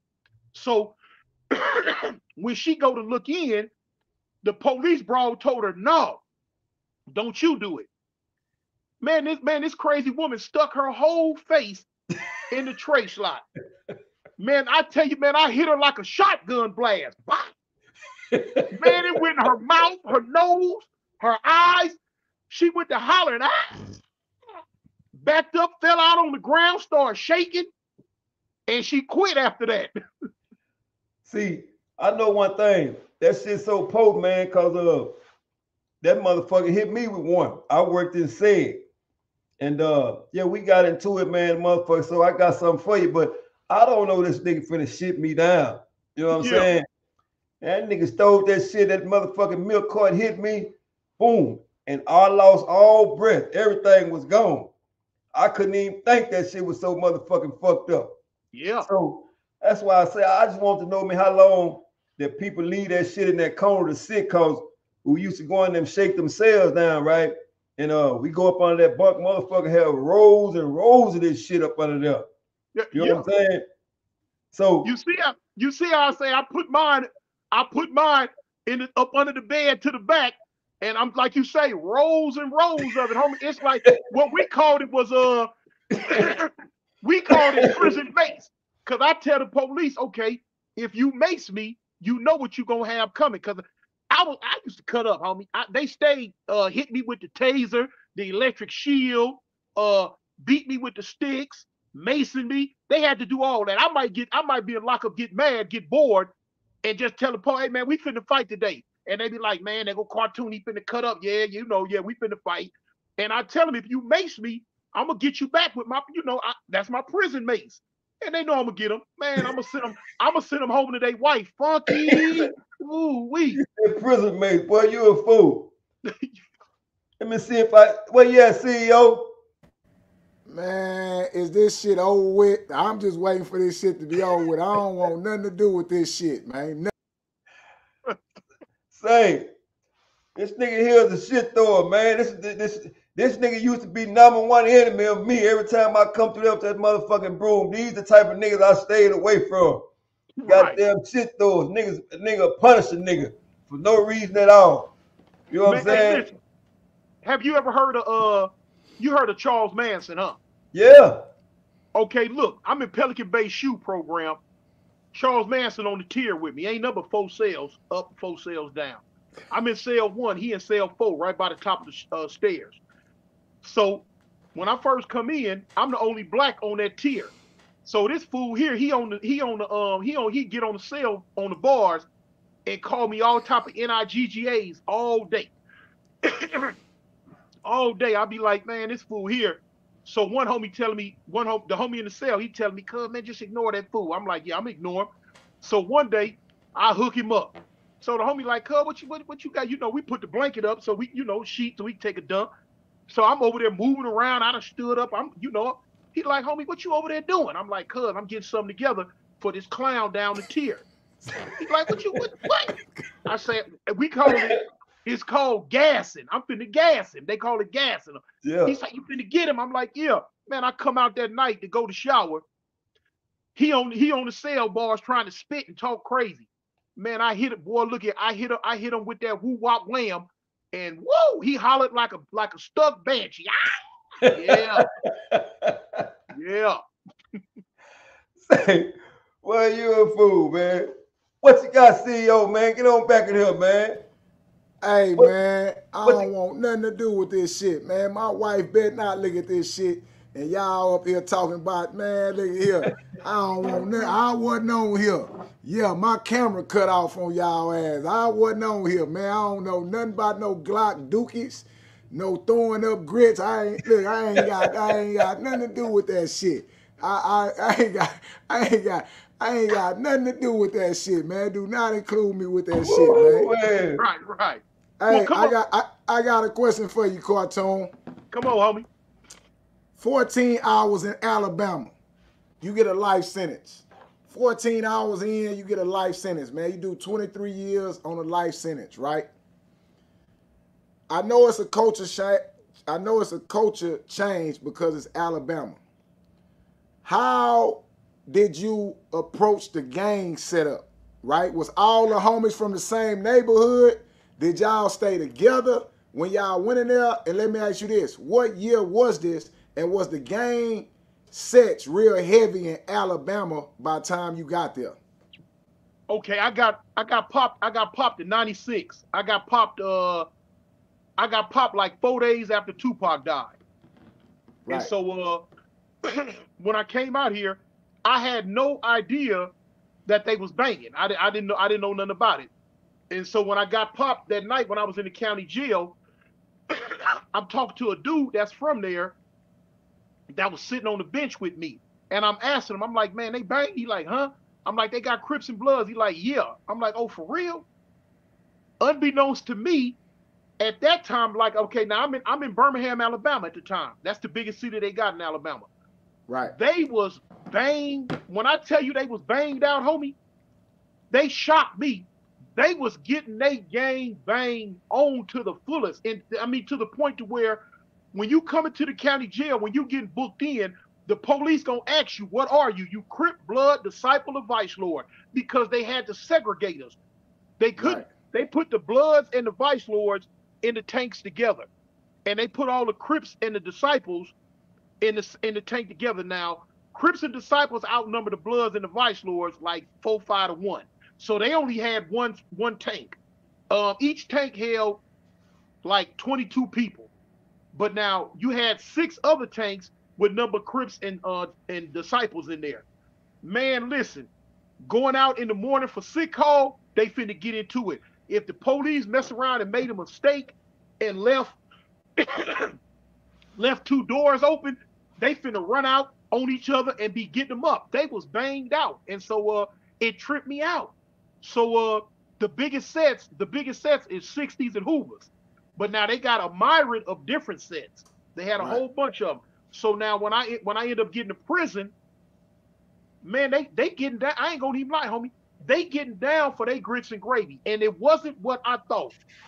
Um, it wasn't as country as I thought. Now, of course, they was a little bit slower on certain things, but um, I ain't gonna even lie, man. I met some dudes so swift out here in Alabama that they will run circles around the average dude from LA. And Right. it, it, it just it wasn't after I, after about the first two years, I start understand. I'm like, man, these dudes ain't uh they ain't what a lot of people think, cause you know, and I would tell them, I say, man, you hear the word Alabama, people in different states, first thing they gonna think about Martin Luther King and you know, slavery and this and that. but no, homie, it's totally different. It, it, when I tell you totally different, they got everything everybody else got, and ain't nothing slow about them at all. And they dangerous. Man, these little country boys will kill you dirt dog dead. Oh, okay, let, let me ask you a question. You basically broke in uh, the 48 module, 47 module. Um, No, it- no, Los was Angeles, looking- Lo- Lo- Los Angeles County, goddamn ni- 1984. Do- No, no, do no. you- I wasn't there in 84. That's when it opened up. I didn't come till 86. 86. But I'm saying you there at the heart of that shit, right? What was the difference between the Crip module and what Alabama had going on with the separations with the Crips and the Blood? I mean, I know both of them were separated, but how was the program in there as it related to the gangs? Because you brought up something very interesting. I'm neighborhood. I got put down with 60s, right? In 93, right? And I knew nothing about the turf or, or, or LA like that, but I I had a natural rivalry for as Crip on Crip with Hoovers. So when you mm-hmm. said 60s and Hoovers, I'm like, damn, that's ironic that that rivalry spread it across states. Oh, yeah. Yeah. You- you- do, do- do you see what I'm saying? I, I never ran into an eight tray. So my biggest rivals in prison was Hoovers, because I was 60. You see what I'm saying? So just give us how did that program run and what was the difference between the two? Because you coming out of 48. You understand what I'm saying? And you already know you ready to run that same program with these country niggas, right? Uh, and- and- and give us the difference. believe it or not, I didn't really want to run the same program because by the time, you know what I'm saying, by the here it is, I was in the Crip module back in 86. By the time 96 had come, I was way more advanced. You know, I got 10 years on my belt. I'm, I'm, I'm mentally, I'm still with all the shenanigans, but it was a little bit different. It was, I was a little bit, I was a little bit more mature, and um, my understanding on certain things was a whole lot better. Now Right. it, they don't have crip on crip violence like that in Alabama. You know, if you, it don't make a difference what set you are. in Alabama, if you crip, then you you you you you family, you part of you part of the hookup. Um, that's how they thing is. Um, it, it's it, and I didn't, I never brought the LA mentality on who's supposed to get along with who and who not. I Right. never brought that to Alabama because um, I was about the unity. I was about everybody being together. You know, my thing is if you crip, we under we all up under the same umbrella. I don't give a dang what n- letters and numbers you got on the front. Your last name is Crip, then let's all get together. And that's how they rocked in Alabama. Um, like, but now, like you say, in 1400 it was totally different. Um, you up in there, everybody was shoved in there together. Now, after you fight somebody so long and you in the same module, after a while you just learn to just get along. You know what I'm saying? Right. You just learn to get along. Now, the fights that would come, like new homies that was coming in, you know what I'm saying? They they they get them up. They wild, they young, you know, they they want to do their thing. So you would see you would still see fights with younger homies coming in. But uh, but other than that, dudes kind of like try to keep the peace and you know what I'm saying, try to keep it to an even keel. O- Okay, take us to this day real quick. You sentenced to life, man. Cartoon is sentenced to life in Alabama. Who who shows up from Los Angeles at the sentencing? Who shows up and you this life sentence is brought down? What is going through the 38 year old mind? Cartoon from LA that spent 14 hours in Alabama when that life sentence was handed out to you. Um, by by the time by the time I came to Alabama, homie, and caught that case, I had done so much time, and I, I man, I had been locked up so much, cause the long the long but before now, the longest I ever stayed out of jail was four months. Usually, I was out a month and a half, two months, and I would go back. When I first when I got out back in '82, I stayed two weeks and went back. So going to jail was like old home week for me. So now when I came to Alabama, here it is. We caught, we caught, we caught dead bang. You know what I'm saying? I was the gunman. I, I, when I run out, they see me with the gun. I'm on camera with the gun and the whole hookup. So now here it is. We in there. We fighting the case, fighting the case. Um, they looked at me as public enemy number one. They was like, okay, we finna throw the book at you. When I went to arraignment, the judge told me, you know what, son, you look like you belong in prison. I'm like, what? But I knew then. I'm like, yeah. I'm like, what? I knew then I was in trouble.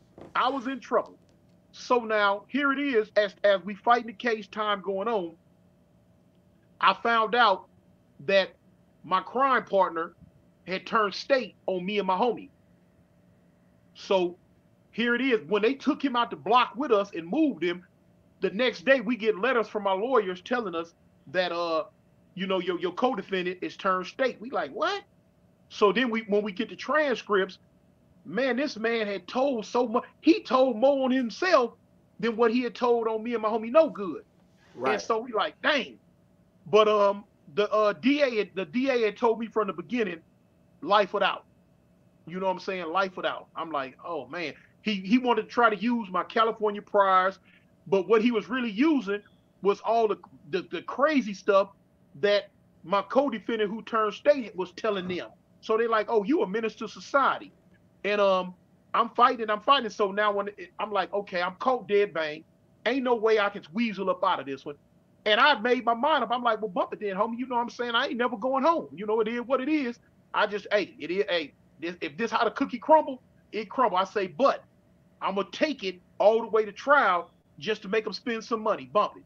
And that's what happened. We went to trial, they spent the money. So now when Co- it came, co-defendant got on the stand on your ass. no, no, no, he he, he Oh, never did? got on the stand. oh, okay. He had just uh he had just made a whole lot of statements and stuff, and he but he never got on the stand. But they was taking Right. what he said and was running with it. Yeah. Um, when I went to sentencing, I'm like, okay, well, you know, it's over with. So the judge asked the DA. He said, uh, I forget the DA name, but he said, Mister Whatever. He said, we still going with life without on him, and he said, uh, no, Your Honor. So I'm looking. I'm like, what? He said, well, what we doing? He said, uh, we going with life. Life. Boy, look here. I don't think you've never seen a person so glad to get a life sentence. Life. So at the time, Oh, you could do seven. You could do seven years in Alabama and go home off a life sentence. Oh, okay. yeah, so that's what I was looking at. I'm like, okay, I got action at getting out again. Because if they'd hit me with the life without, it was I'm Yastuba, I'm through. It's over with. They hit me with the life. I'm thinking I'm gonna get a uh, okay, what they call a setup. They give you how much time you got to do before you go for parole the first time. So I had been in I had been on the prison yard about six months, and I get I get a what's called legal mail. So when I go to legal mail, I get my uh, I get my setup on my life sentence. It was 15. So basically they gave me what's called 15 to life. At first I'm shook. I'm like, dang, I got to do 15. But it started going. When I did the 15, I go up, they shot me down. I go up again, they shot me down five times. On the last time, I went on and made it. And Boy, you you and Hollywood cousins. Y'all cousins. That nigga had a life sentence. He had to do 15, and he seen them bitches five or six times before he made parole. You Yeah. niggas is kin to each other. Straight up. Y'all kin So- each other. so let me ask jewelry this. stores. Let me ask you this though, right? When the sentence was handed down, right? The lights went off. Cause I know I was fucked up. I ain't gonna lie. I was fucked up. You know what I'm saying? And uh this this right here is a life lesson for people, you know, to think that a motherfucker just really talking about this shit because it's it's all good when it's really not. You know what I'm saying? So I want to add that in there, man. A life sentence is a bad motherfucker. And you ask yourself at the end of all that shit, this is when the lights go off, when ain't nobody around. Was it worth it? And I asked myself that shit a thousand times, and I came back with the same answer. Hell no. you know what? To be honest with you, homie, I never tri- I, I never really tripped on if it was worth it or not. Like I said, the I got institutionalized the first time I ever went to jail. The first time I ever went to juvenile hall, I got what you call institutionalized. Doing time, for some strange reason, it never bothered me. I ain't never sweated it. I ain't never looked at it down. I, I, I just really didn't care. I'm just I'm up in here just doing my thug thizzle until it's time to, it- you know, I would say until the time for these white folks let me go. When I got the life sentence, I knew eventually I was gonna go home again. So I, I really, homie, to be honest, I really, I really wasn't tripping. It didn't, it didn't hit me my worst time in prison. Am I back? Yeah, Yeah, you you good? Okay. Somebody was calling. My worst time in prison was 19, I mean, excuse me, was 2007. For some reason, for some reason, man, I just got, man, I gave up. I ain't gonna even lie. For some reason in 2007, man, I woke up one day, man, I'm looking around. I'm in a prison called West Jefferson. That's like the bottom of the barrel. That's the last stop in Alabama. That's the most maximum security prison when you when you get to, when you make it to West Jefferson, you just there. You there to die. And um, I I've been there for some years, but now I woke up one day, and I just it felt like I couldn't take it no more. It's- you know what? I was just like, man, come. You know what? Man, I don't even want to do this. And uh, I ain't gonna even lie, man. I called my mama on the phone, and I said, Mama, I love you. I said, but now I ain't never coming home. She was like, what? I said, Mama, I, oh, I had just got set off on parole. That's what it was. I just went up and got set off again. And so uh it kind I don't for some reason that time right there broke me. And I told moms, I'm like, um, no, no, no, no. Had I went up for parole? No, I hadn't went up for parole yet. I hadn't went up for parole yet. I just got tired because it's 07. I didn't go up for parole the first time for years later. Yeah, But- to probably probably 2000. If you went in 96, you ain't coming I- up I for for parole to parole 2011. No, no, I went up in 2012. 2012, yeah. Yeah, that was my that's first 15. parole. Yeah, that's 15 years. Yeah, that was my first parole hearing in 2012. But in 2007, man, I I just you know what I I never acted like that before, but I told my my, my mom was like, boy, stop tripping. I don't want don't talk like that. You stronger than that. Don't. I'm like, mama, no, man. I just I'm, I said, mama, they ain't gonna never let me go, cause I had seen so many dudes going up and not never going home. They wasn't going home. They wasn't letting them go, and I just for some it hit me. Man, I start tripping, man. I start robbing dudes. Um, man, I, I look. I start they're just doing all type of wild stuff, getting to it, the police. I, I, wanted somebody to kill me because yeah. I wasn't gonna kill myself, and I'm robbing them, and I'm sitting up. I, I I didn't have a knife on me no more. My homies from Cali like, cuz you tripping too, man. What you man, you man, these dudes go, man, I don't give a dang. Whatever they go do, they go do. Man, I'm robbing the poker games. I'm robbing the dope man. Man, I'm taking food commissary when they come through the door. I'm just doing it all. I'm like, man, whatever you want to do, do it. Woo, 2000, 2008 hit. I guess God look, you know, God stepped in and say, man, let me look out for this fool. 2008 hit, and he put a woman in my life out of nowhere. Man, I just met this woman out of nowhere, and um, she brought some light back into me, homie. She changed me. I was I started turning into a whole different person. She had she, you know, I picked the Bible up, went to reading it, you know what I'm saying, getting a better understanding. she taught me to move out the blocks and move on the south side where the dorms were. I went to the drug program. Um, I, I just changed to the point to where I was cutting up so see, I was cutting up so bad at one time.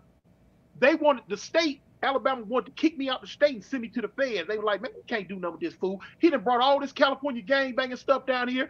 We having riots in the prison. Dudes stabbing each other with this Crip stuff. We need to get rid of him because I had the South Central mentality. I hadn't calmed down yet.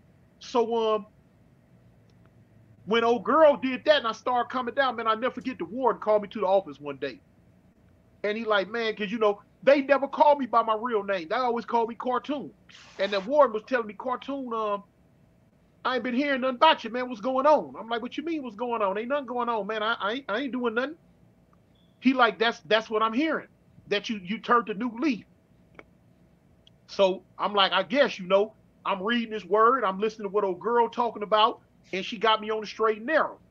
And that's and and that's and and I, that's how I end up eventually bouncing back changing. Yeah, I was gonna ask you that. How did you change? So you pretty much answered that, so we don't have to go go further into that. But you say she came out of nowhere. Now you gotta explain that shit, cartoon. Okay. Ain't no woman came out of goddamn nowhere to put You got you gotta, you got you got you got to put some straightening on that shit, cartoon. And I'm, I'm saying that because you know people want to know how people meet each other and have these connections from jail. You know what I'm saying? So help us out right there. Okay, what happened was um her son, her son slept on the same tier as me. He was a little young dude. He from Birmingham. He was a disciple. so I would hear, I didn't really know him, I didn't really talk to him a lot, but I would hear a lot of people talking about him. And I started listening, and they was talking about his mama, how bad his mama was the police was talking about her. Other inmates was talking about her. You and, Hollywood so cousins, man. Hold on. You and you and Hollywood snake ass Nick, man. Look, you is Hollywood cousin from South Central.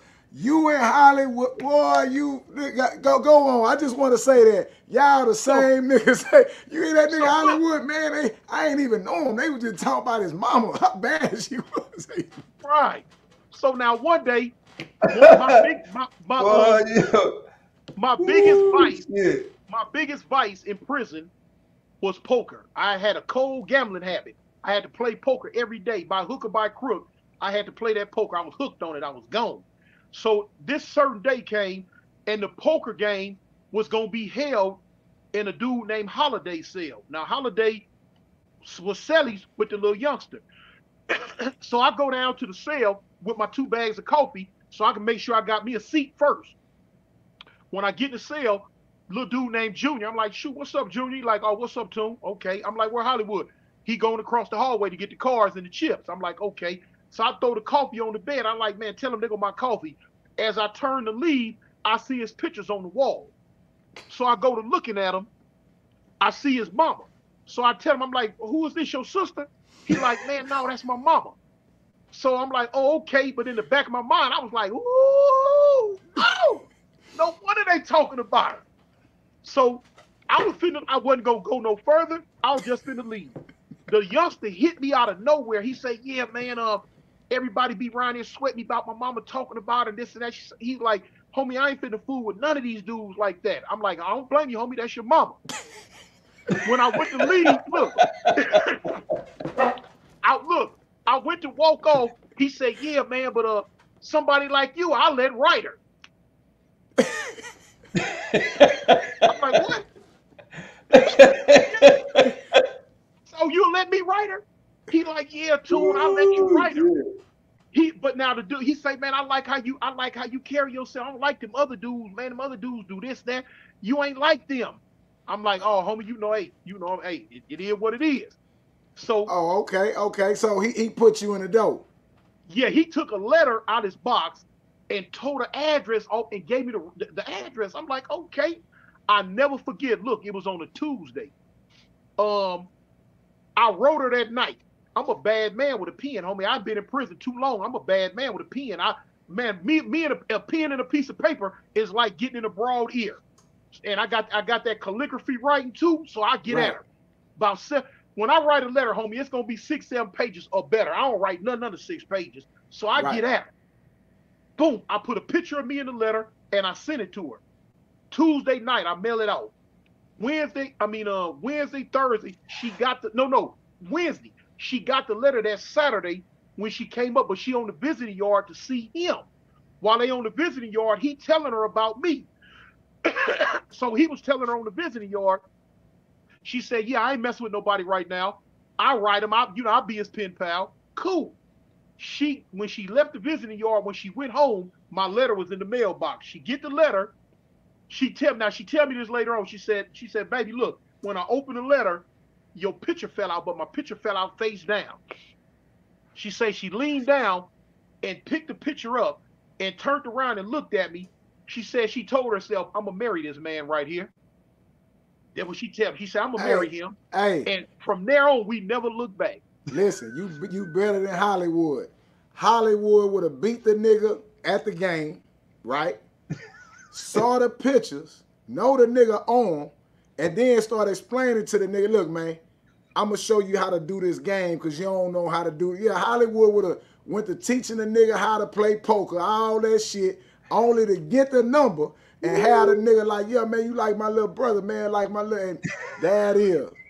You know what I'm saying? Hey, look, I ain't gonna hey, lie.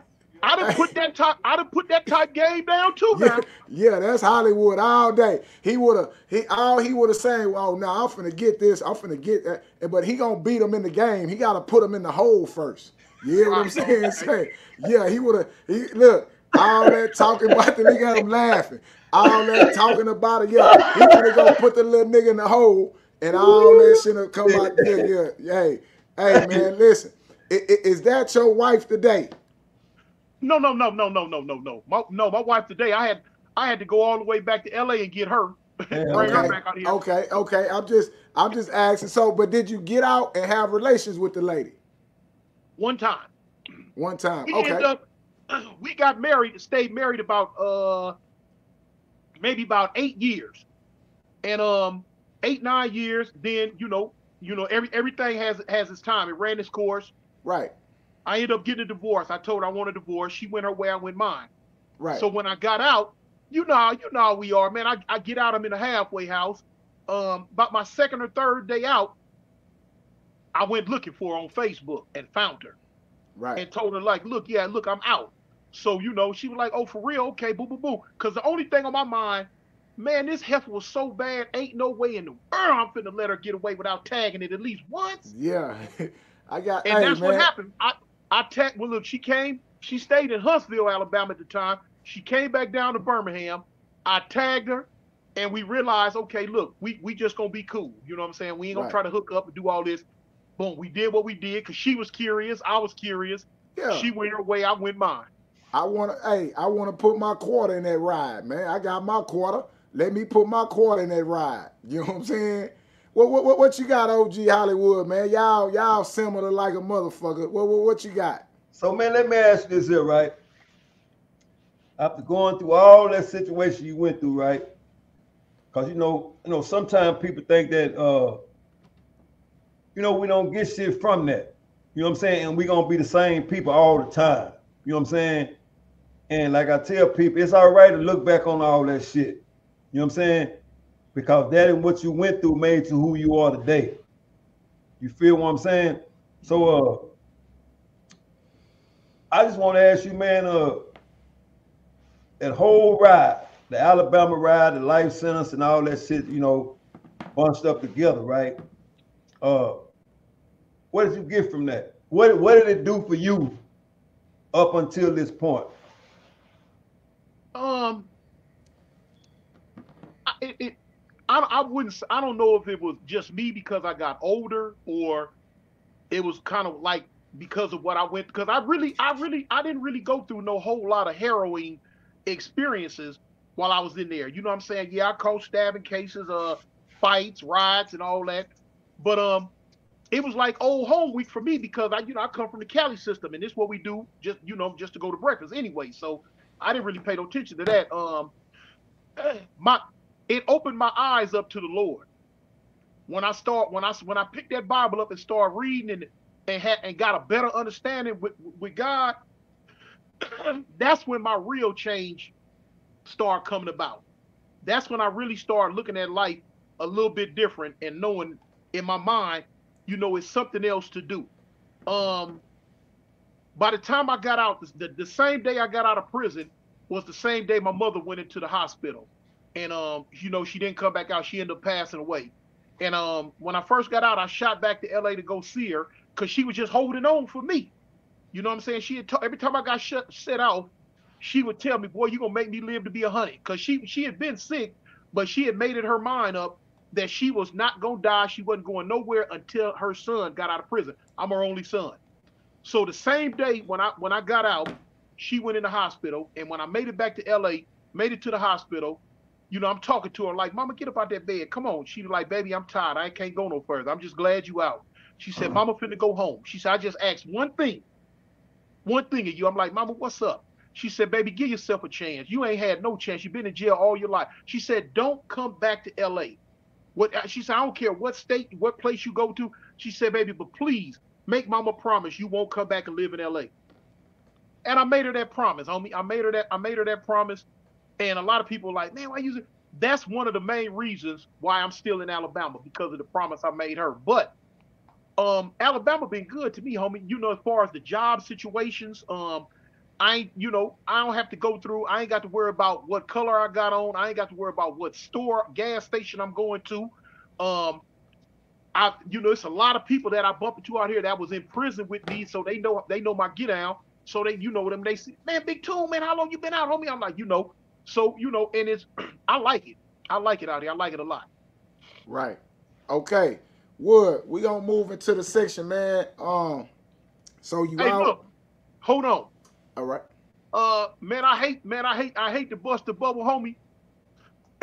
but I gotta pick my homeboy up and take him to the uh to the uh, airport at 10:30. It's 9:52 now, so I gotta get to his house so I'm gonna have I'm gonna have to cut this one short, homie. Go, go on, do your thing. We, we good, man. Listen, we appreciate you, man. Anything you want to say before you leave out, man?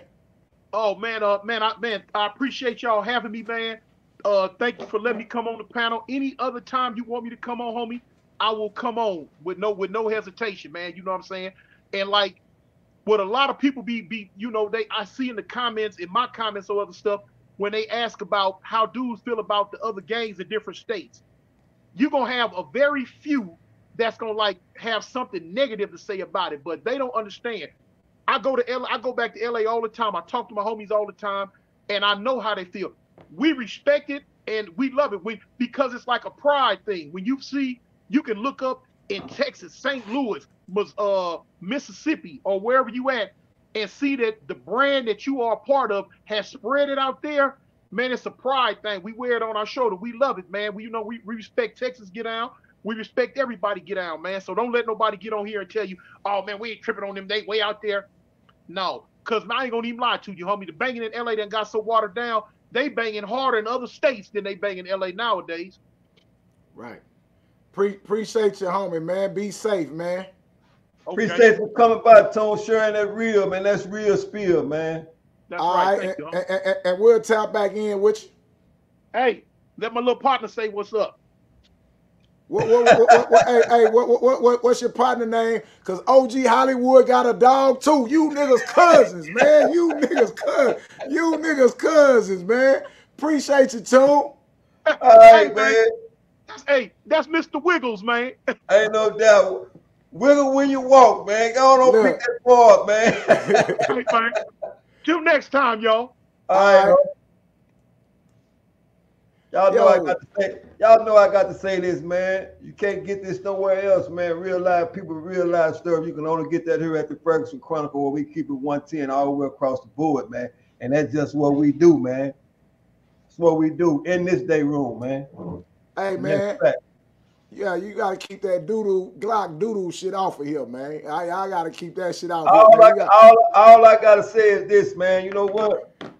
Uh, I've been on the end of that shit, man, and, and that shit wasn't nice, man. That shit take the breath out of you, man. You know what I'm saying? and he he he admitted it himself when he threw it on the motherfucker, it knocked him out.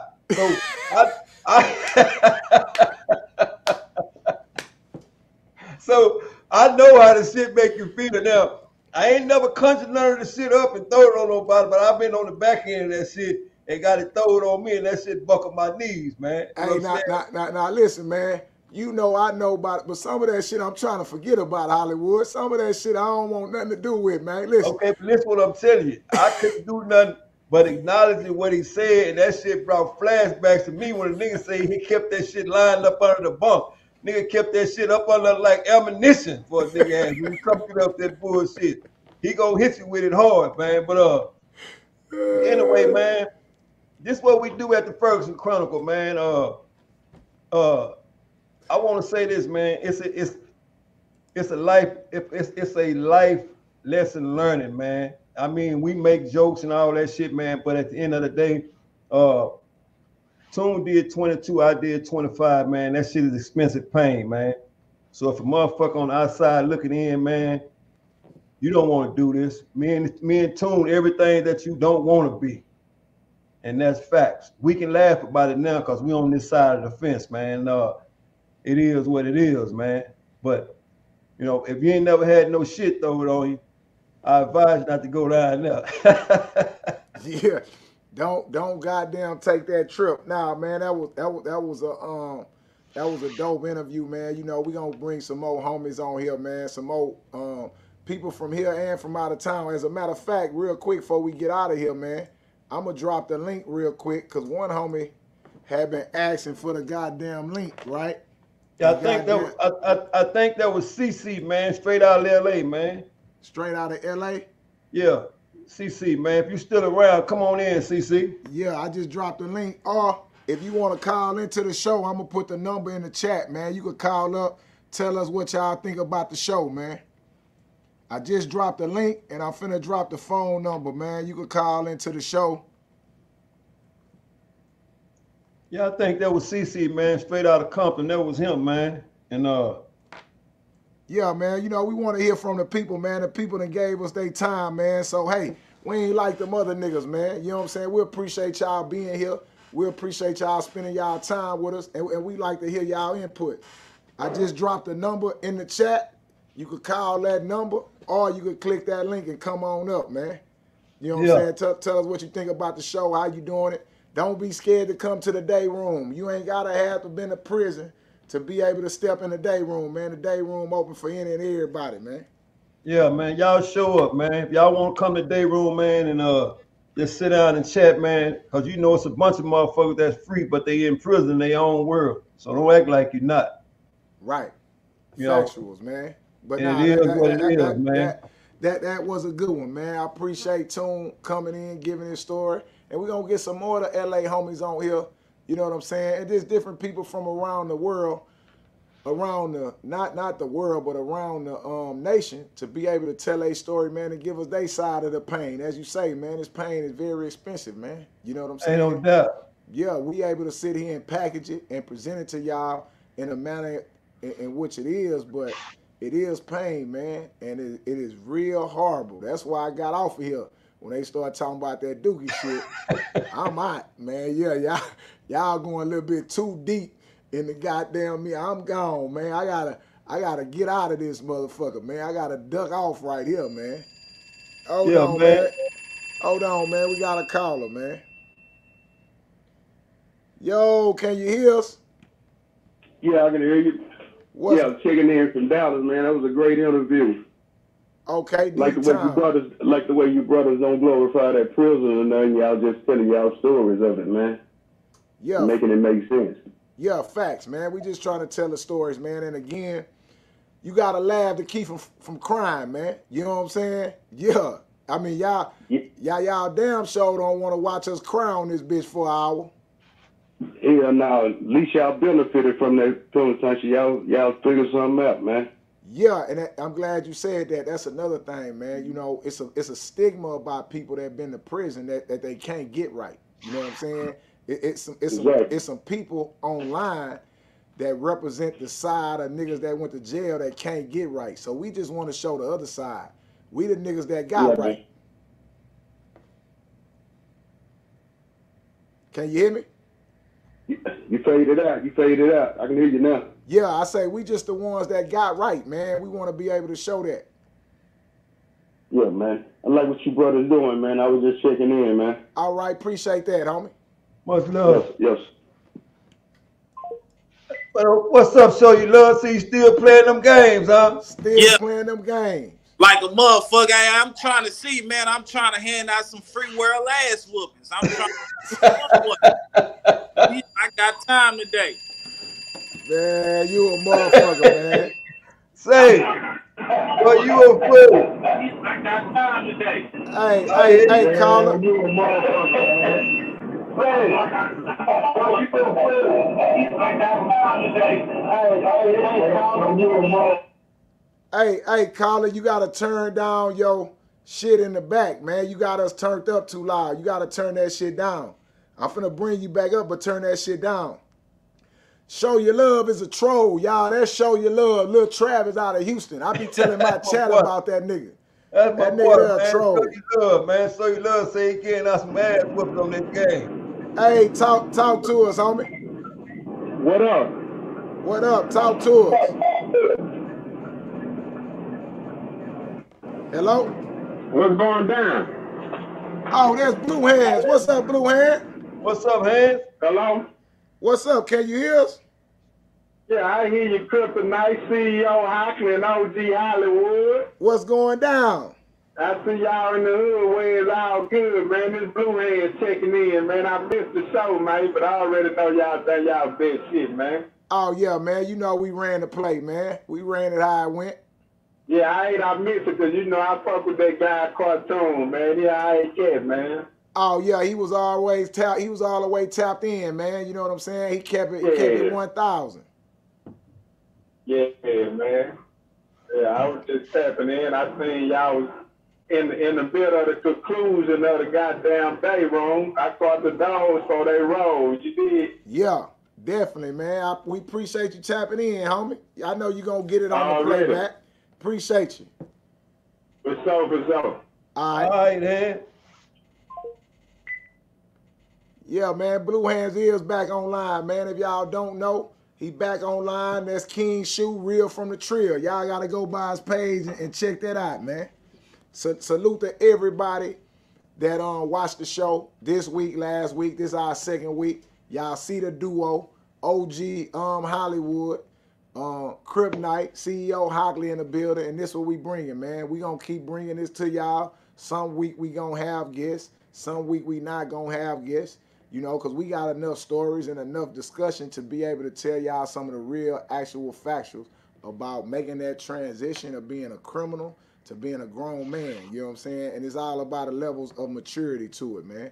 And with that, man, hey, that's that's it, Hollywood, man. I'm good. You got something else you want to share?